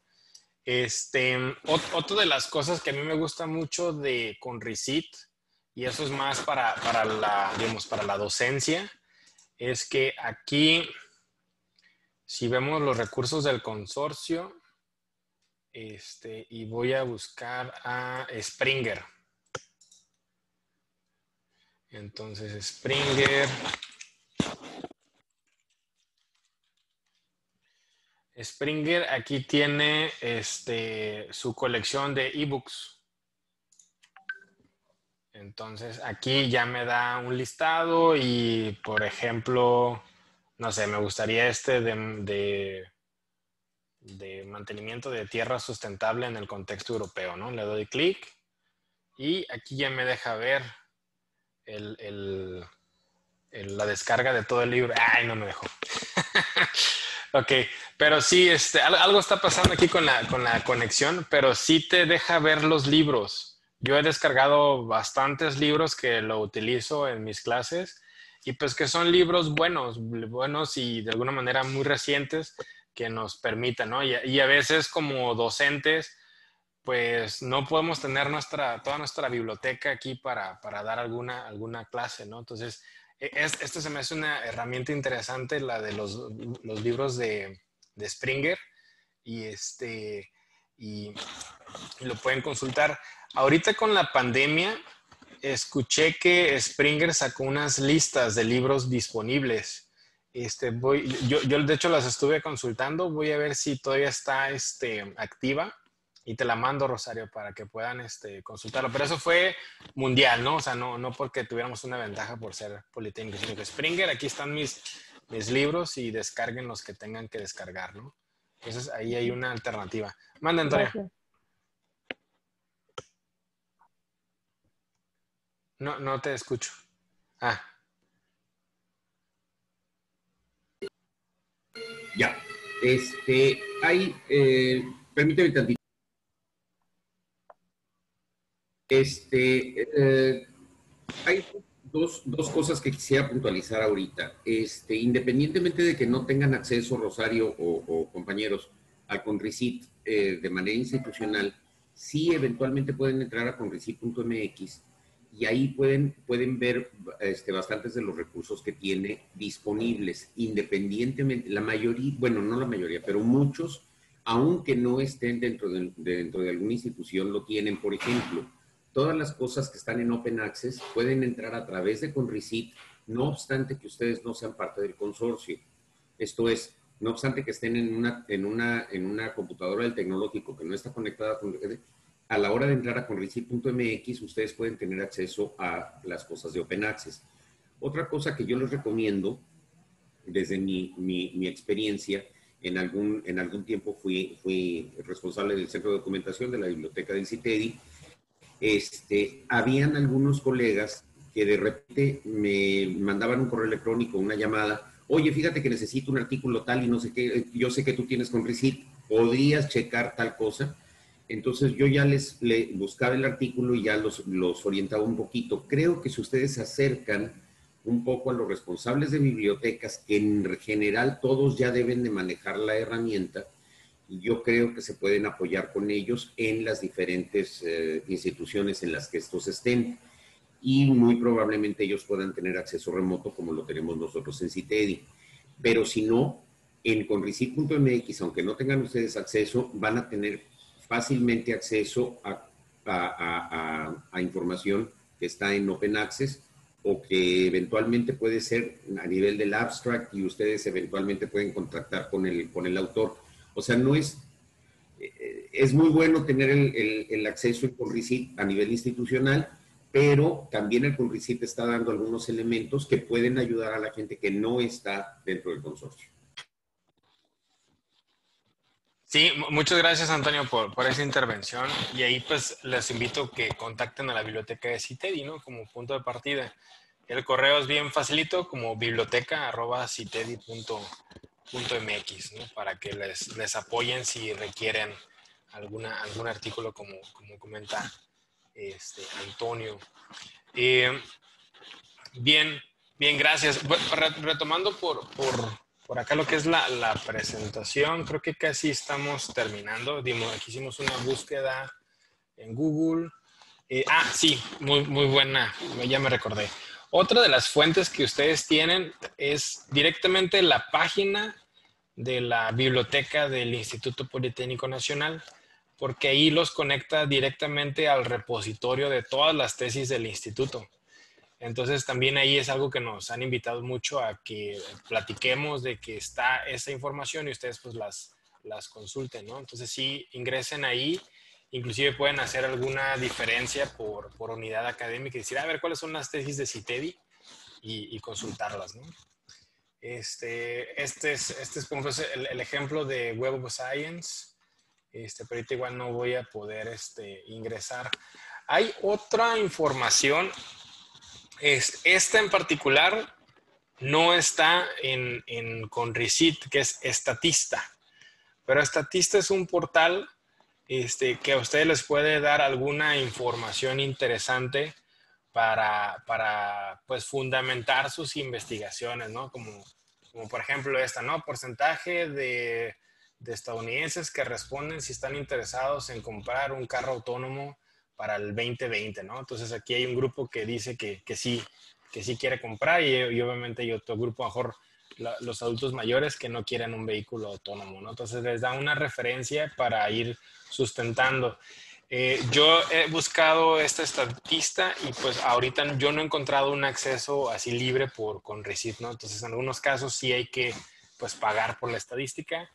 Y también, ah, por ejemplo, esta gráfica que tengo, este, pues fue un ejemplo de que este, Estatista sí te deja hacer ciertas búsquedas y de repente te dice, no, ya, ahora sí paga, ¿no? Entonces, este fue, fue un ejemplo. Eh, también este, INEGI, por ejemplo, INEGI da mucha información, de si ustedes están haciendo búsqueda del país, pues INEGI te da mucha información que pueden este, eh, utilizar. Y hablando de tendencias mundiales, yo les recomiendo otra plataforma que se llama Garner. No sé si, si, lo, han, si lo han escuchado, Garner. Entonces también Garner es una consultora mundial que por ahí tiene este, pues da informes de cómo, cómo va las tendencias hablando de ciencia y tecnología. Este, consultar sus informes sí tiene costo, este, pero tiene muchos webinars que te ayudan a ponerte en contexto, ¿no? Entonces, sabes que te ponen los, las 10 tendencias tecnológicas del 2020, ¿no? Y ya ves tu webinar, ¿no? Y te da una orientación. O la tendencia que tiene que ver con como lo dijo Angélica, ¿no? Vulnerabilidad en la red y ciberseguridad, ¿no? Entonces ya puedes ir viendo el, el video. Entonces, sí te da una, una base de datos disponible, digamos, de videos que, que tienen otro fundamento. No, no, no, es ir a buscar a YouTube y a ver qué aparece, ¿no? Entonces, sí, sí me gustaría invitarlos más a que vean esos, esos webinars de, de, de. Y este, ok. Aquí hay otras estadísticas de Web of Science. Pues, espero en, otro momento poderles mostrar Web of Science en vivo y a todo color.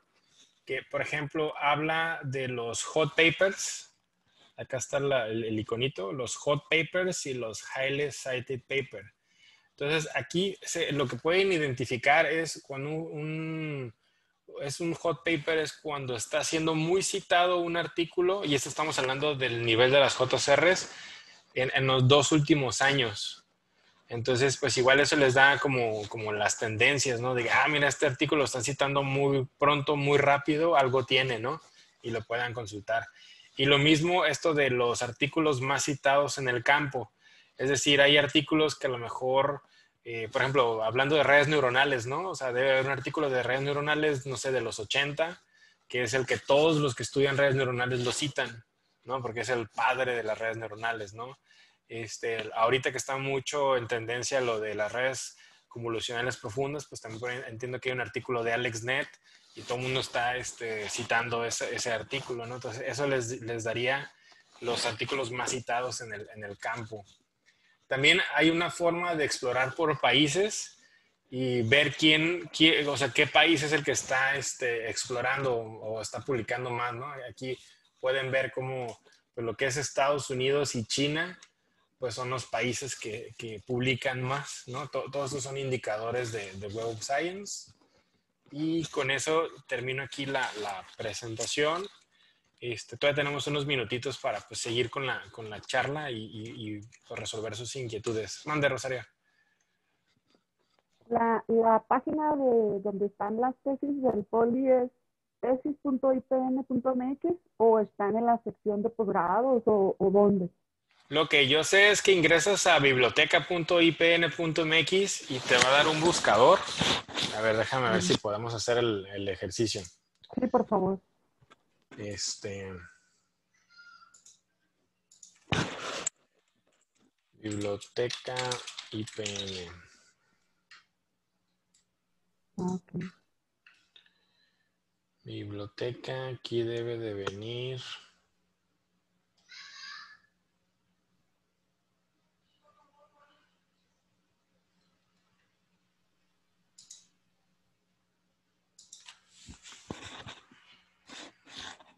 Tesis, mira acá. Tesis electrónica, si no la puedo. Ah, sí, sí. Lo que pasa es que me marca eso mismo.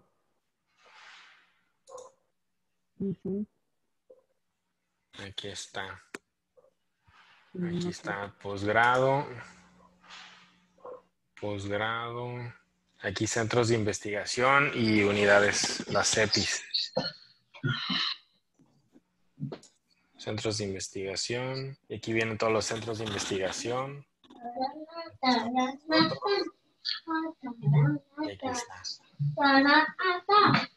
Aquí. Ahorita están ya públicas las, las de invierno. Las que se, se graduaron en verano todavía no, no las suben.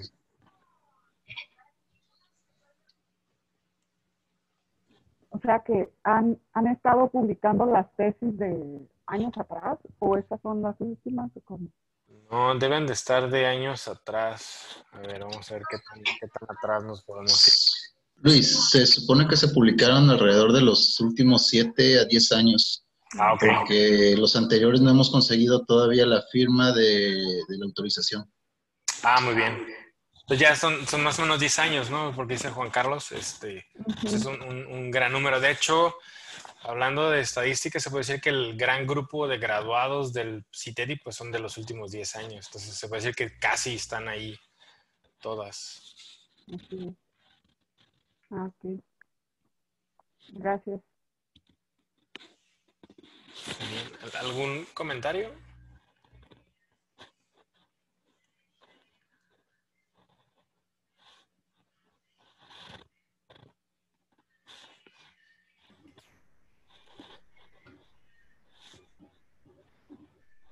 Muy bien. Yo tengo varias preguntas.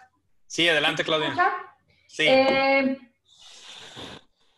Perdón por mi ignorancia, soy eh, recientemente estoy comenzando a publicar, entonces, por ejemplo, ahorita que estoy aplicando varias convocatorias, como que es PRODE, desempeño docente, eh, tengo algunas publicaciones y me piden identificar si, si las publicaciones son indexadas y este y tengo esa dificultad para identificarlo en mis publicaciones que son internacionales. Por ejemplo, para las de México tengo una, tengo una publicación de la, con, con la UNAM, es una de las revistas que está en la lista de las revistas de CONACID, entonces supongo que esa sí está indexada. Pero, por ejemplo, algunas otras publicaciones que son en revistas internacionales que están en plataforma el Sevier, este, ahí a mí ya me surge la duda de si son indexadas, este, cómo yo identifico.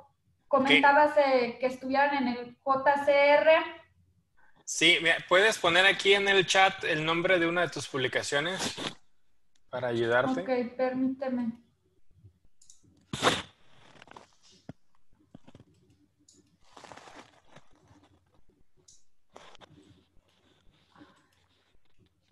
Tengo unos problemas con la máquina. Rosario, ¿tú me podrías apoyar con alguna? la última que hicimos.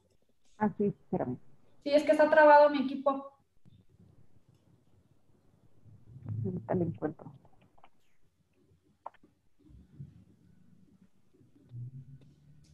Mientras Rosario lo, lo busca, tengo otra, otra pregunta. Sí. Estabas hablando de las autocitas. Eh,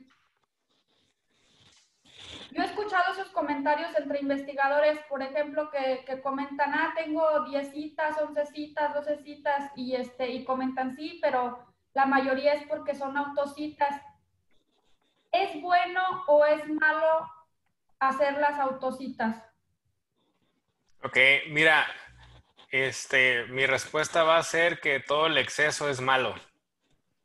¿No? Entonces, hay veces que tú en tus trabajos, hay veces que das como un camino de la investigación y si ya tienes dos o tres artículos, pues como, como, ¿cómo explicarlo? Como no puedes traer la investigación que ya hiciste a tu artículo más actual, vas a decir, ah, mira, esto ya lo vi en mi artículo de hace un año, ¿no? Y haces la, la referencia. Eso de alguna manera está bien, y, pero tampoco, tampoco caigas en el exceso.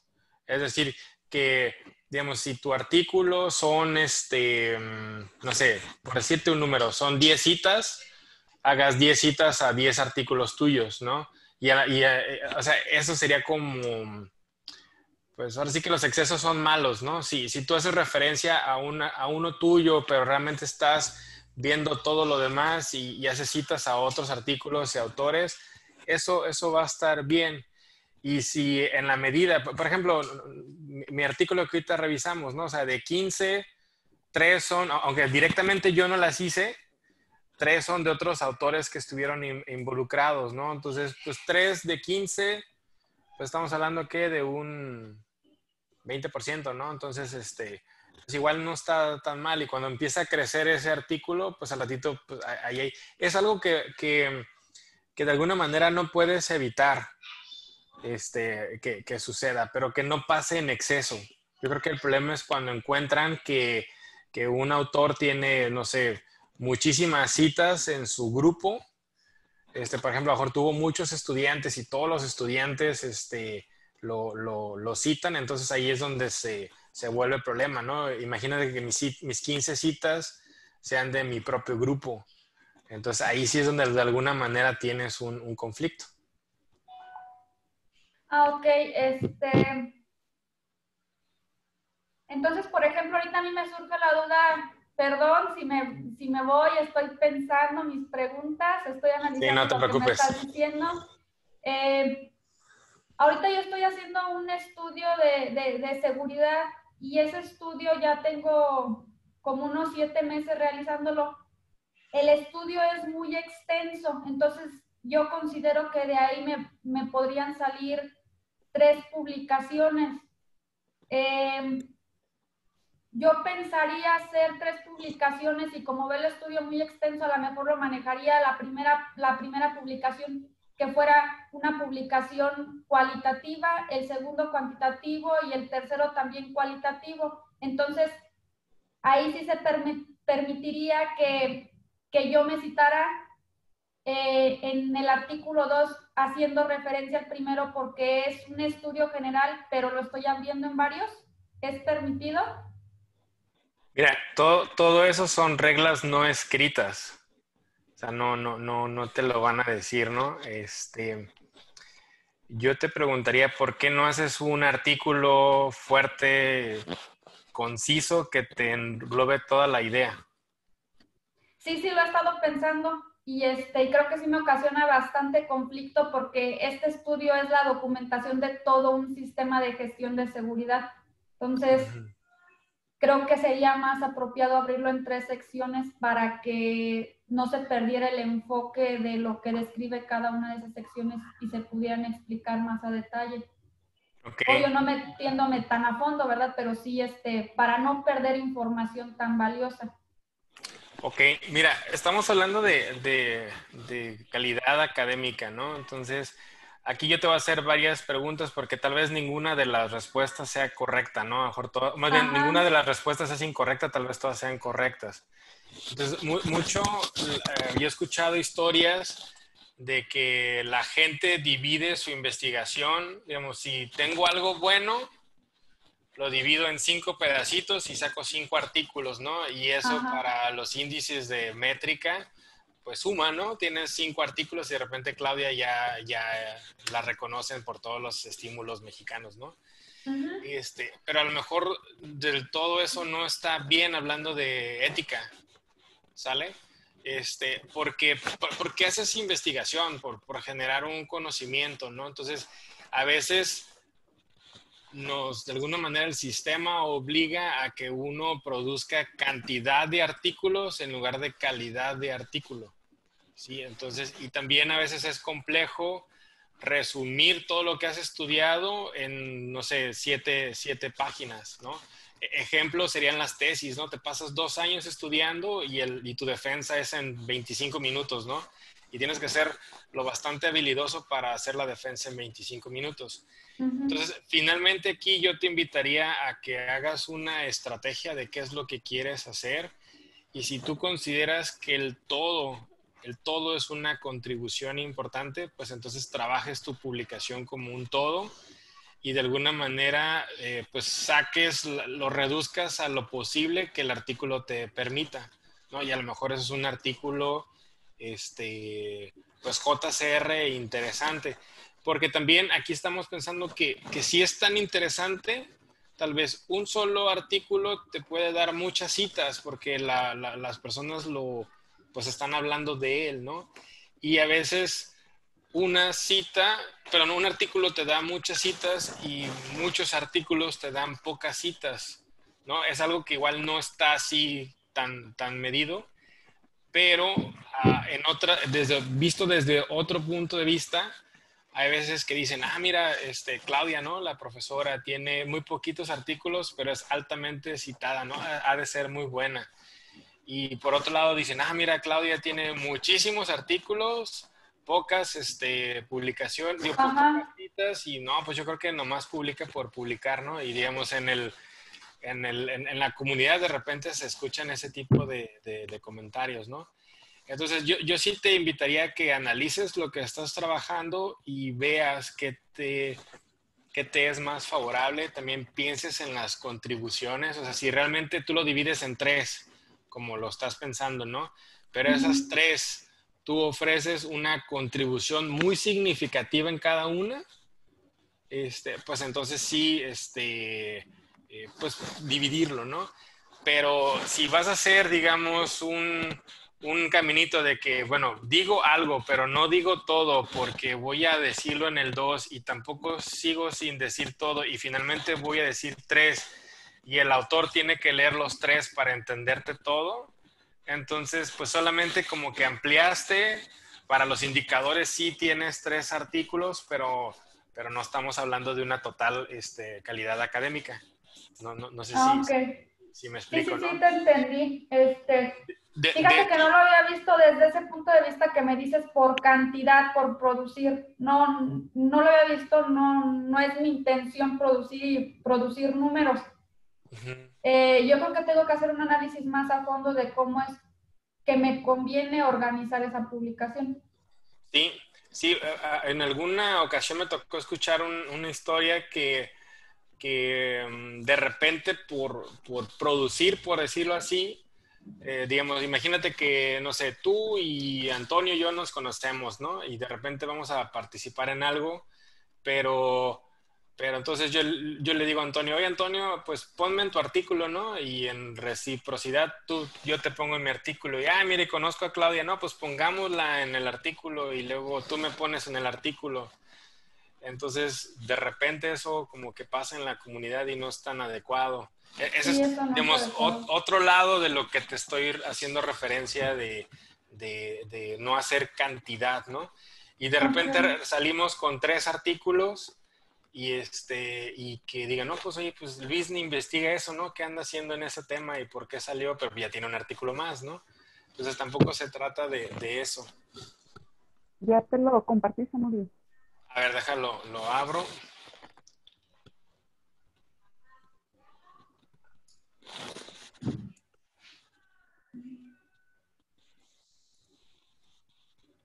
También te acabo de compartir el reciente, Rosario. Mira, por ejemplo, este artículo,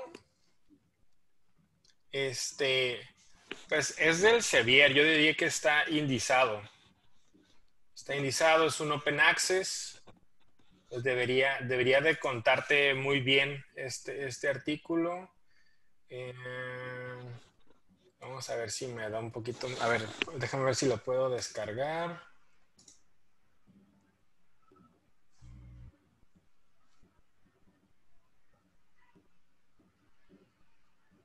A ver si me lo da. Ah, pero, pero es Open Access, ¿no? Entonces no debo tener problemas con el con Receipt. Entonces sí me lo da.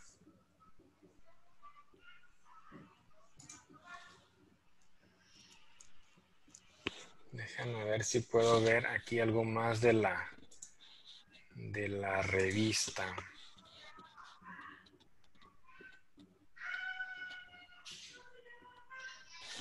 Aquí, aquí hay que tener cuidado con esta licencia de Creative Commons.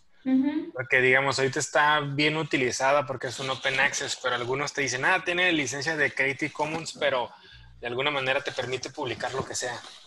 ¿no? Entonces sí, ah, sí hay que tener aquí cuidado. Mira, aquí están los, los Plume X que les comentaba. Te da aquí detalles, a ver qué más detalles te da.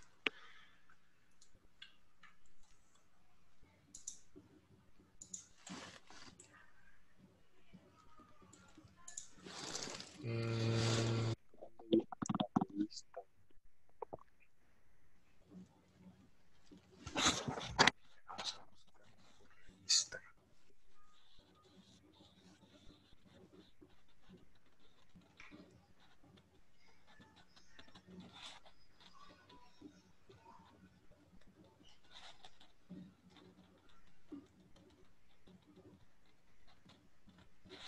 Mira, con este ISSN, si tuviéramos acceso al Web of Science, con este validas que sea JCR. ¿Okay? Porque no, no necesariamente es JCR. Ya, te da un cierto sentido de que esta revista es importante, pero acuérdate que todavía hay unos niveles más altos, ¿no? Entonces, con este ISSN, tú validas en Web of Science si, si es este si es este JCR.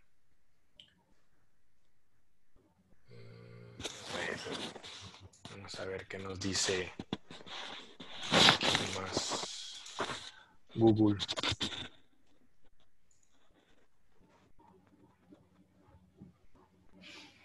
Mira, aquí te dice que en Scopus tiene seis citas.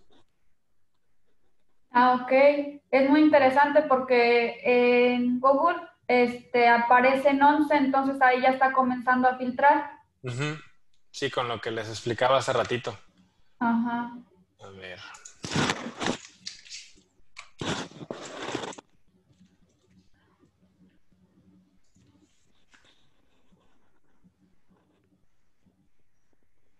Simago.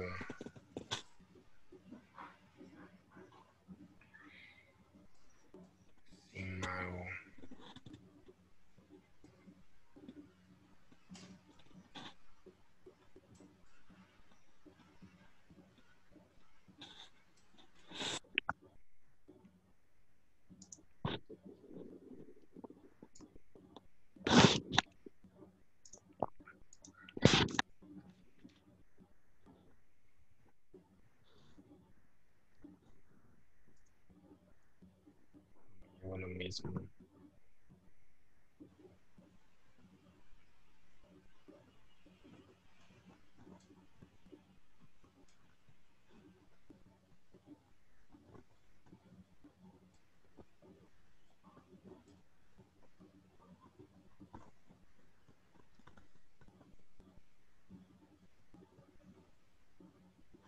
Aquí te lo pone en cuartil 2.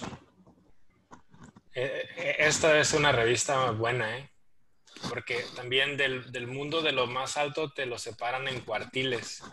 que honestamente no me sé las reglas de los cuartiles, pero la idea es que es cuartil 1, 2, 3 y 4 y entre más te se acerque tu revista al cuartil 1, pues es una publicación pues mejor, ¿no? Entonces en este caso te lo están este, etiquetando en cuartil 2. Entonces sí, sí, e, esta la debes de identificar como, pues, como revista buena.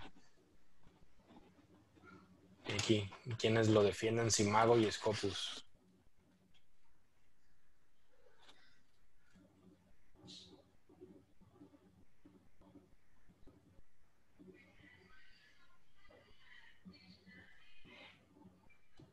Ok, a ver. ¿Tienes otra revista? Sí, Rosario, te mandé la última, la última publicación por WhatsApp.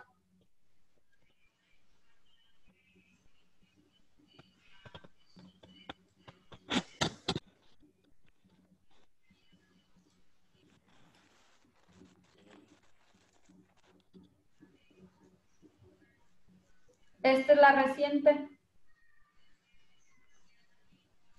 Esta no es Open Access, ¿no? Mm, creo que no. Ah. Ahorita creo que lo tienen abierto por unos días porque la edición final va a salir en enero y va a estar, lo van a estar cobrando el artículo. Ok, sí, ok, está abierto. O sea, aquí, por ejemplo, está abierto. si lo descargo, me lo da. Sí, me lo da. Sí, y se va a cerrar la edición. artículo en prensa. Ajá. La versión final queda en enero. Ya con el volumen completo.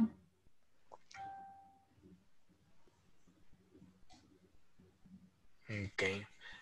Ahora vamos a ver la revista.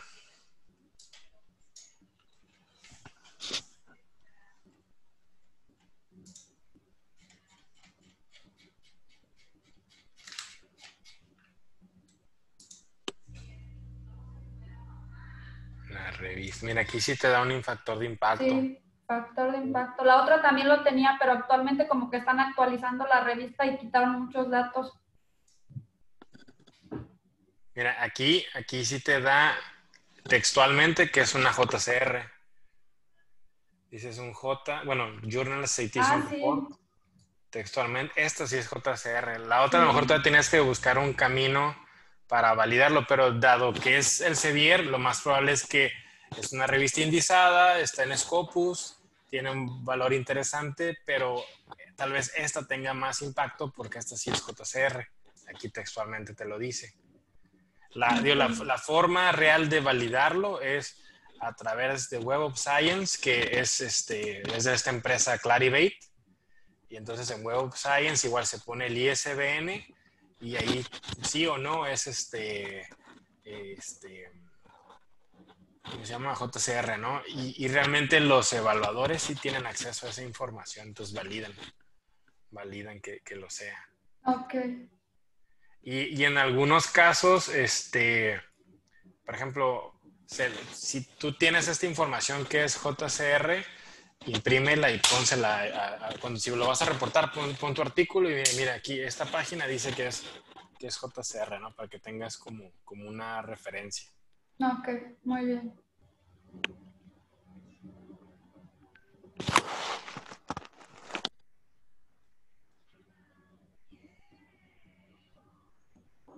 Bien, pues ya se nos casi termina el tiempo, tenemos aquí un par de minutitos. Muchas gracias, Claudia, por tus Gracias a ti, gracias a ti. No sé si tengan alguna, algún otro comentario.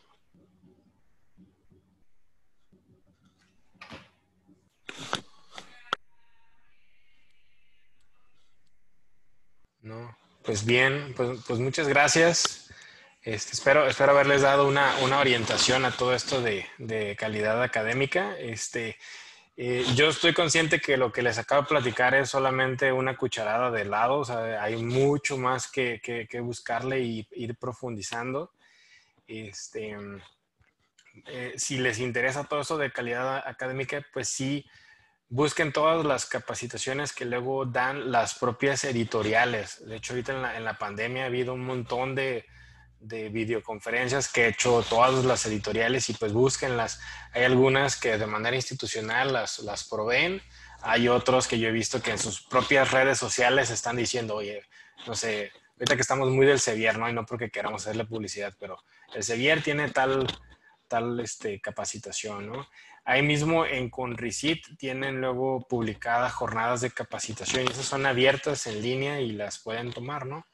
Entonces sí, sí manténganse ahí al tanto para, pues, para ir conociendo y, también, pues ahora sí que levanten ustedes sus propios sensores para ir viendo su propia comunidad, ¿no? Este, eh, ver que un colega te diga, no, es que yo ya publiqué en esa revista y sí, y sí es buena, ¿no?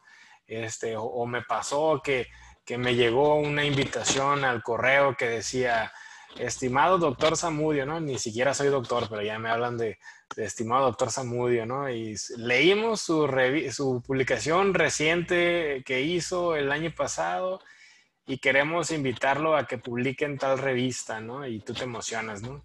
Y ya cuando llegas a la revista, pues te, das cuenta que no es la, la, más adecuada. Entonces sí, sí tengan ahí mucho, mucho cuidado con eso y, de todos modos validen con sus colegas, oye, ¿qué opinas de esta revista? No, pues sí, y, hagan, hagan su, su, mini estudio, ¿no? Digamos, de que de si les conviene, ¿no? Y tú en el caso que estás, este, pues publicando, eh, pues también analiza la revista porque a veces tú puedes tener algo muy bueno y a veces te dicen, no, pues públicala en la revista X, ¿no? Y a lo mejor la revista X tiene un factor de impacto bien chiquito. De hecho, esta que decía 4, ¿no? E, esta, ya empieza a ser interesante, casi 5, ¿no? También hay que ver el área. A lo mejor en tu área 5 es muy bueno o a lo mejor en tu área resulta que 5 es de lo más bajito, ¿no? Eso, eso depende por, por áreas, ¿no? En algunas ingenierías he visto que dicen con que llegue al 1, ¿sí? Este, ya dicen que del 1 para arriba es, es, bueno, ¿no? Pero hay veces que con, con, esta búsqueda de, no, pues hay que publicar porque hay que publicar, evidentemente hay que publicar, perdón por decir mucho publicar, pero es que así te lo ponen y con que tenga .001, pero tiene factor de impacto y ahí públicalo, ¿no? Entonces, hay veces que sí tenemos que evitar eso y si realmente creemos que lo que estamos haciendo es de calidad, pues, pues ponerlo en un, en un foro que realmente lo, lo, valga, ¿no? Eso es lo que deben de tener cuidado. Y, este, y, en algunos les, les hago la, la, analogía del fútbol, ¿no? De las Olimpiadas. O sea, tú quieres ir a jugar el deporte que quieras a las Olimpiadas, ¿no? Entonces, en este caso igual, o sea, tú quieres que tu publicación pues sea conocida en las revistas, bueno, perdón, en las revistas buenas de, de, calidad, ¿no? Entonces ahí, ahí apuéstale. Y si de alguna manera, porque ha pasado, ¿no? De que tú dices, no, pues es que esa revista es interesante y quiero publicar, y sometes y te rechazan, haces adecuaciones y sometes y te rechazan, pues entonces hay algo, hay, ahora sí que hay algo en la, en, el, en la publicación que tú tienes que realmente a lo mejor no es novedad, no estás haciendo contribución y luego la gente como que se aferra, ¿no? Es que me tienen que publicar. Y, entonces em, empiezan ahí a degradar, ¿no? Pues no, pues la puse en el, en el de 5 y no me la publicaron, ¿no? Pues entonces en el de 4 y me la publicaron. Y en la de 3 y no me la publicaron y acaban en la de punto 3, ¿no? Porque ya finalmente tenía que salir la, la publicación. Entonces sí, también hay que tener ese cuidado y de alguna manera, pues, pues tener el coraje, por decirlo así, que si no, pues, pues es que ya cinco intentos y no se publicó, ¿no? Entonces, pues al cajón, ¿no? O sea, no, esa, esa, esa investigación pues también hay investigación que no siempre es exitosa, ¿no? Y no por eso es mala, sino también, también hay que tomarla en consideración y, este, y, hacerlo, ¿no? Entonces, mucho, ah, yo, yo he escuchado que en algunas ocasiones esas publicaciones que, que no se dan, este, algunos pues las acaban poniendo ahí como borradores en ResearchGate. Entonces hay que tener cuidado. Este, hay algunos otros repositorios como ArchiveX que también publican, publican lo que quieras publicar, entonces hay que tener cuidado. Ahí en ArchiveX, ya para cerrar, también este, eh, se supone que es de una universidad. Eh, ¿Cuál era la universidad? Este, creo que es la de Cornell. No, no quiero echar mentiras, pero bueno, es de una universidad de Estados Unidos bastante interesante y se supone que es un repositorio que donde la gente pueda compartir las cosas, pero también hay como que se deformó y, la gente, pues al, no al no publicarles, pues subían ahí su artículo, ¿no? Al final, finalmente estaban publicados.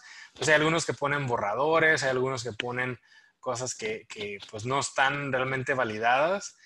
Y de nuevo es donde ustedes tienen que tener cuidado, ¿no? De si se lo encuentran, pues ir a buscar el artículo que, que sí, que sí valga, ¿no? O si se lo encuentran en, en ResearchGate, pues ir a ver que realmente exista en las editoriales de, prestigio, ¿no? Entonces es un poco ahí la, la, última reflexión, que validen la información que se, que se están encontrando.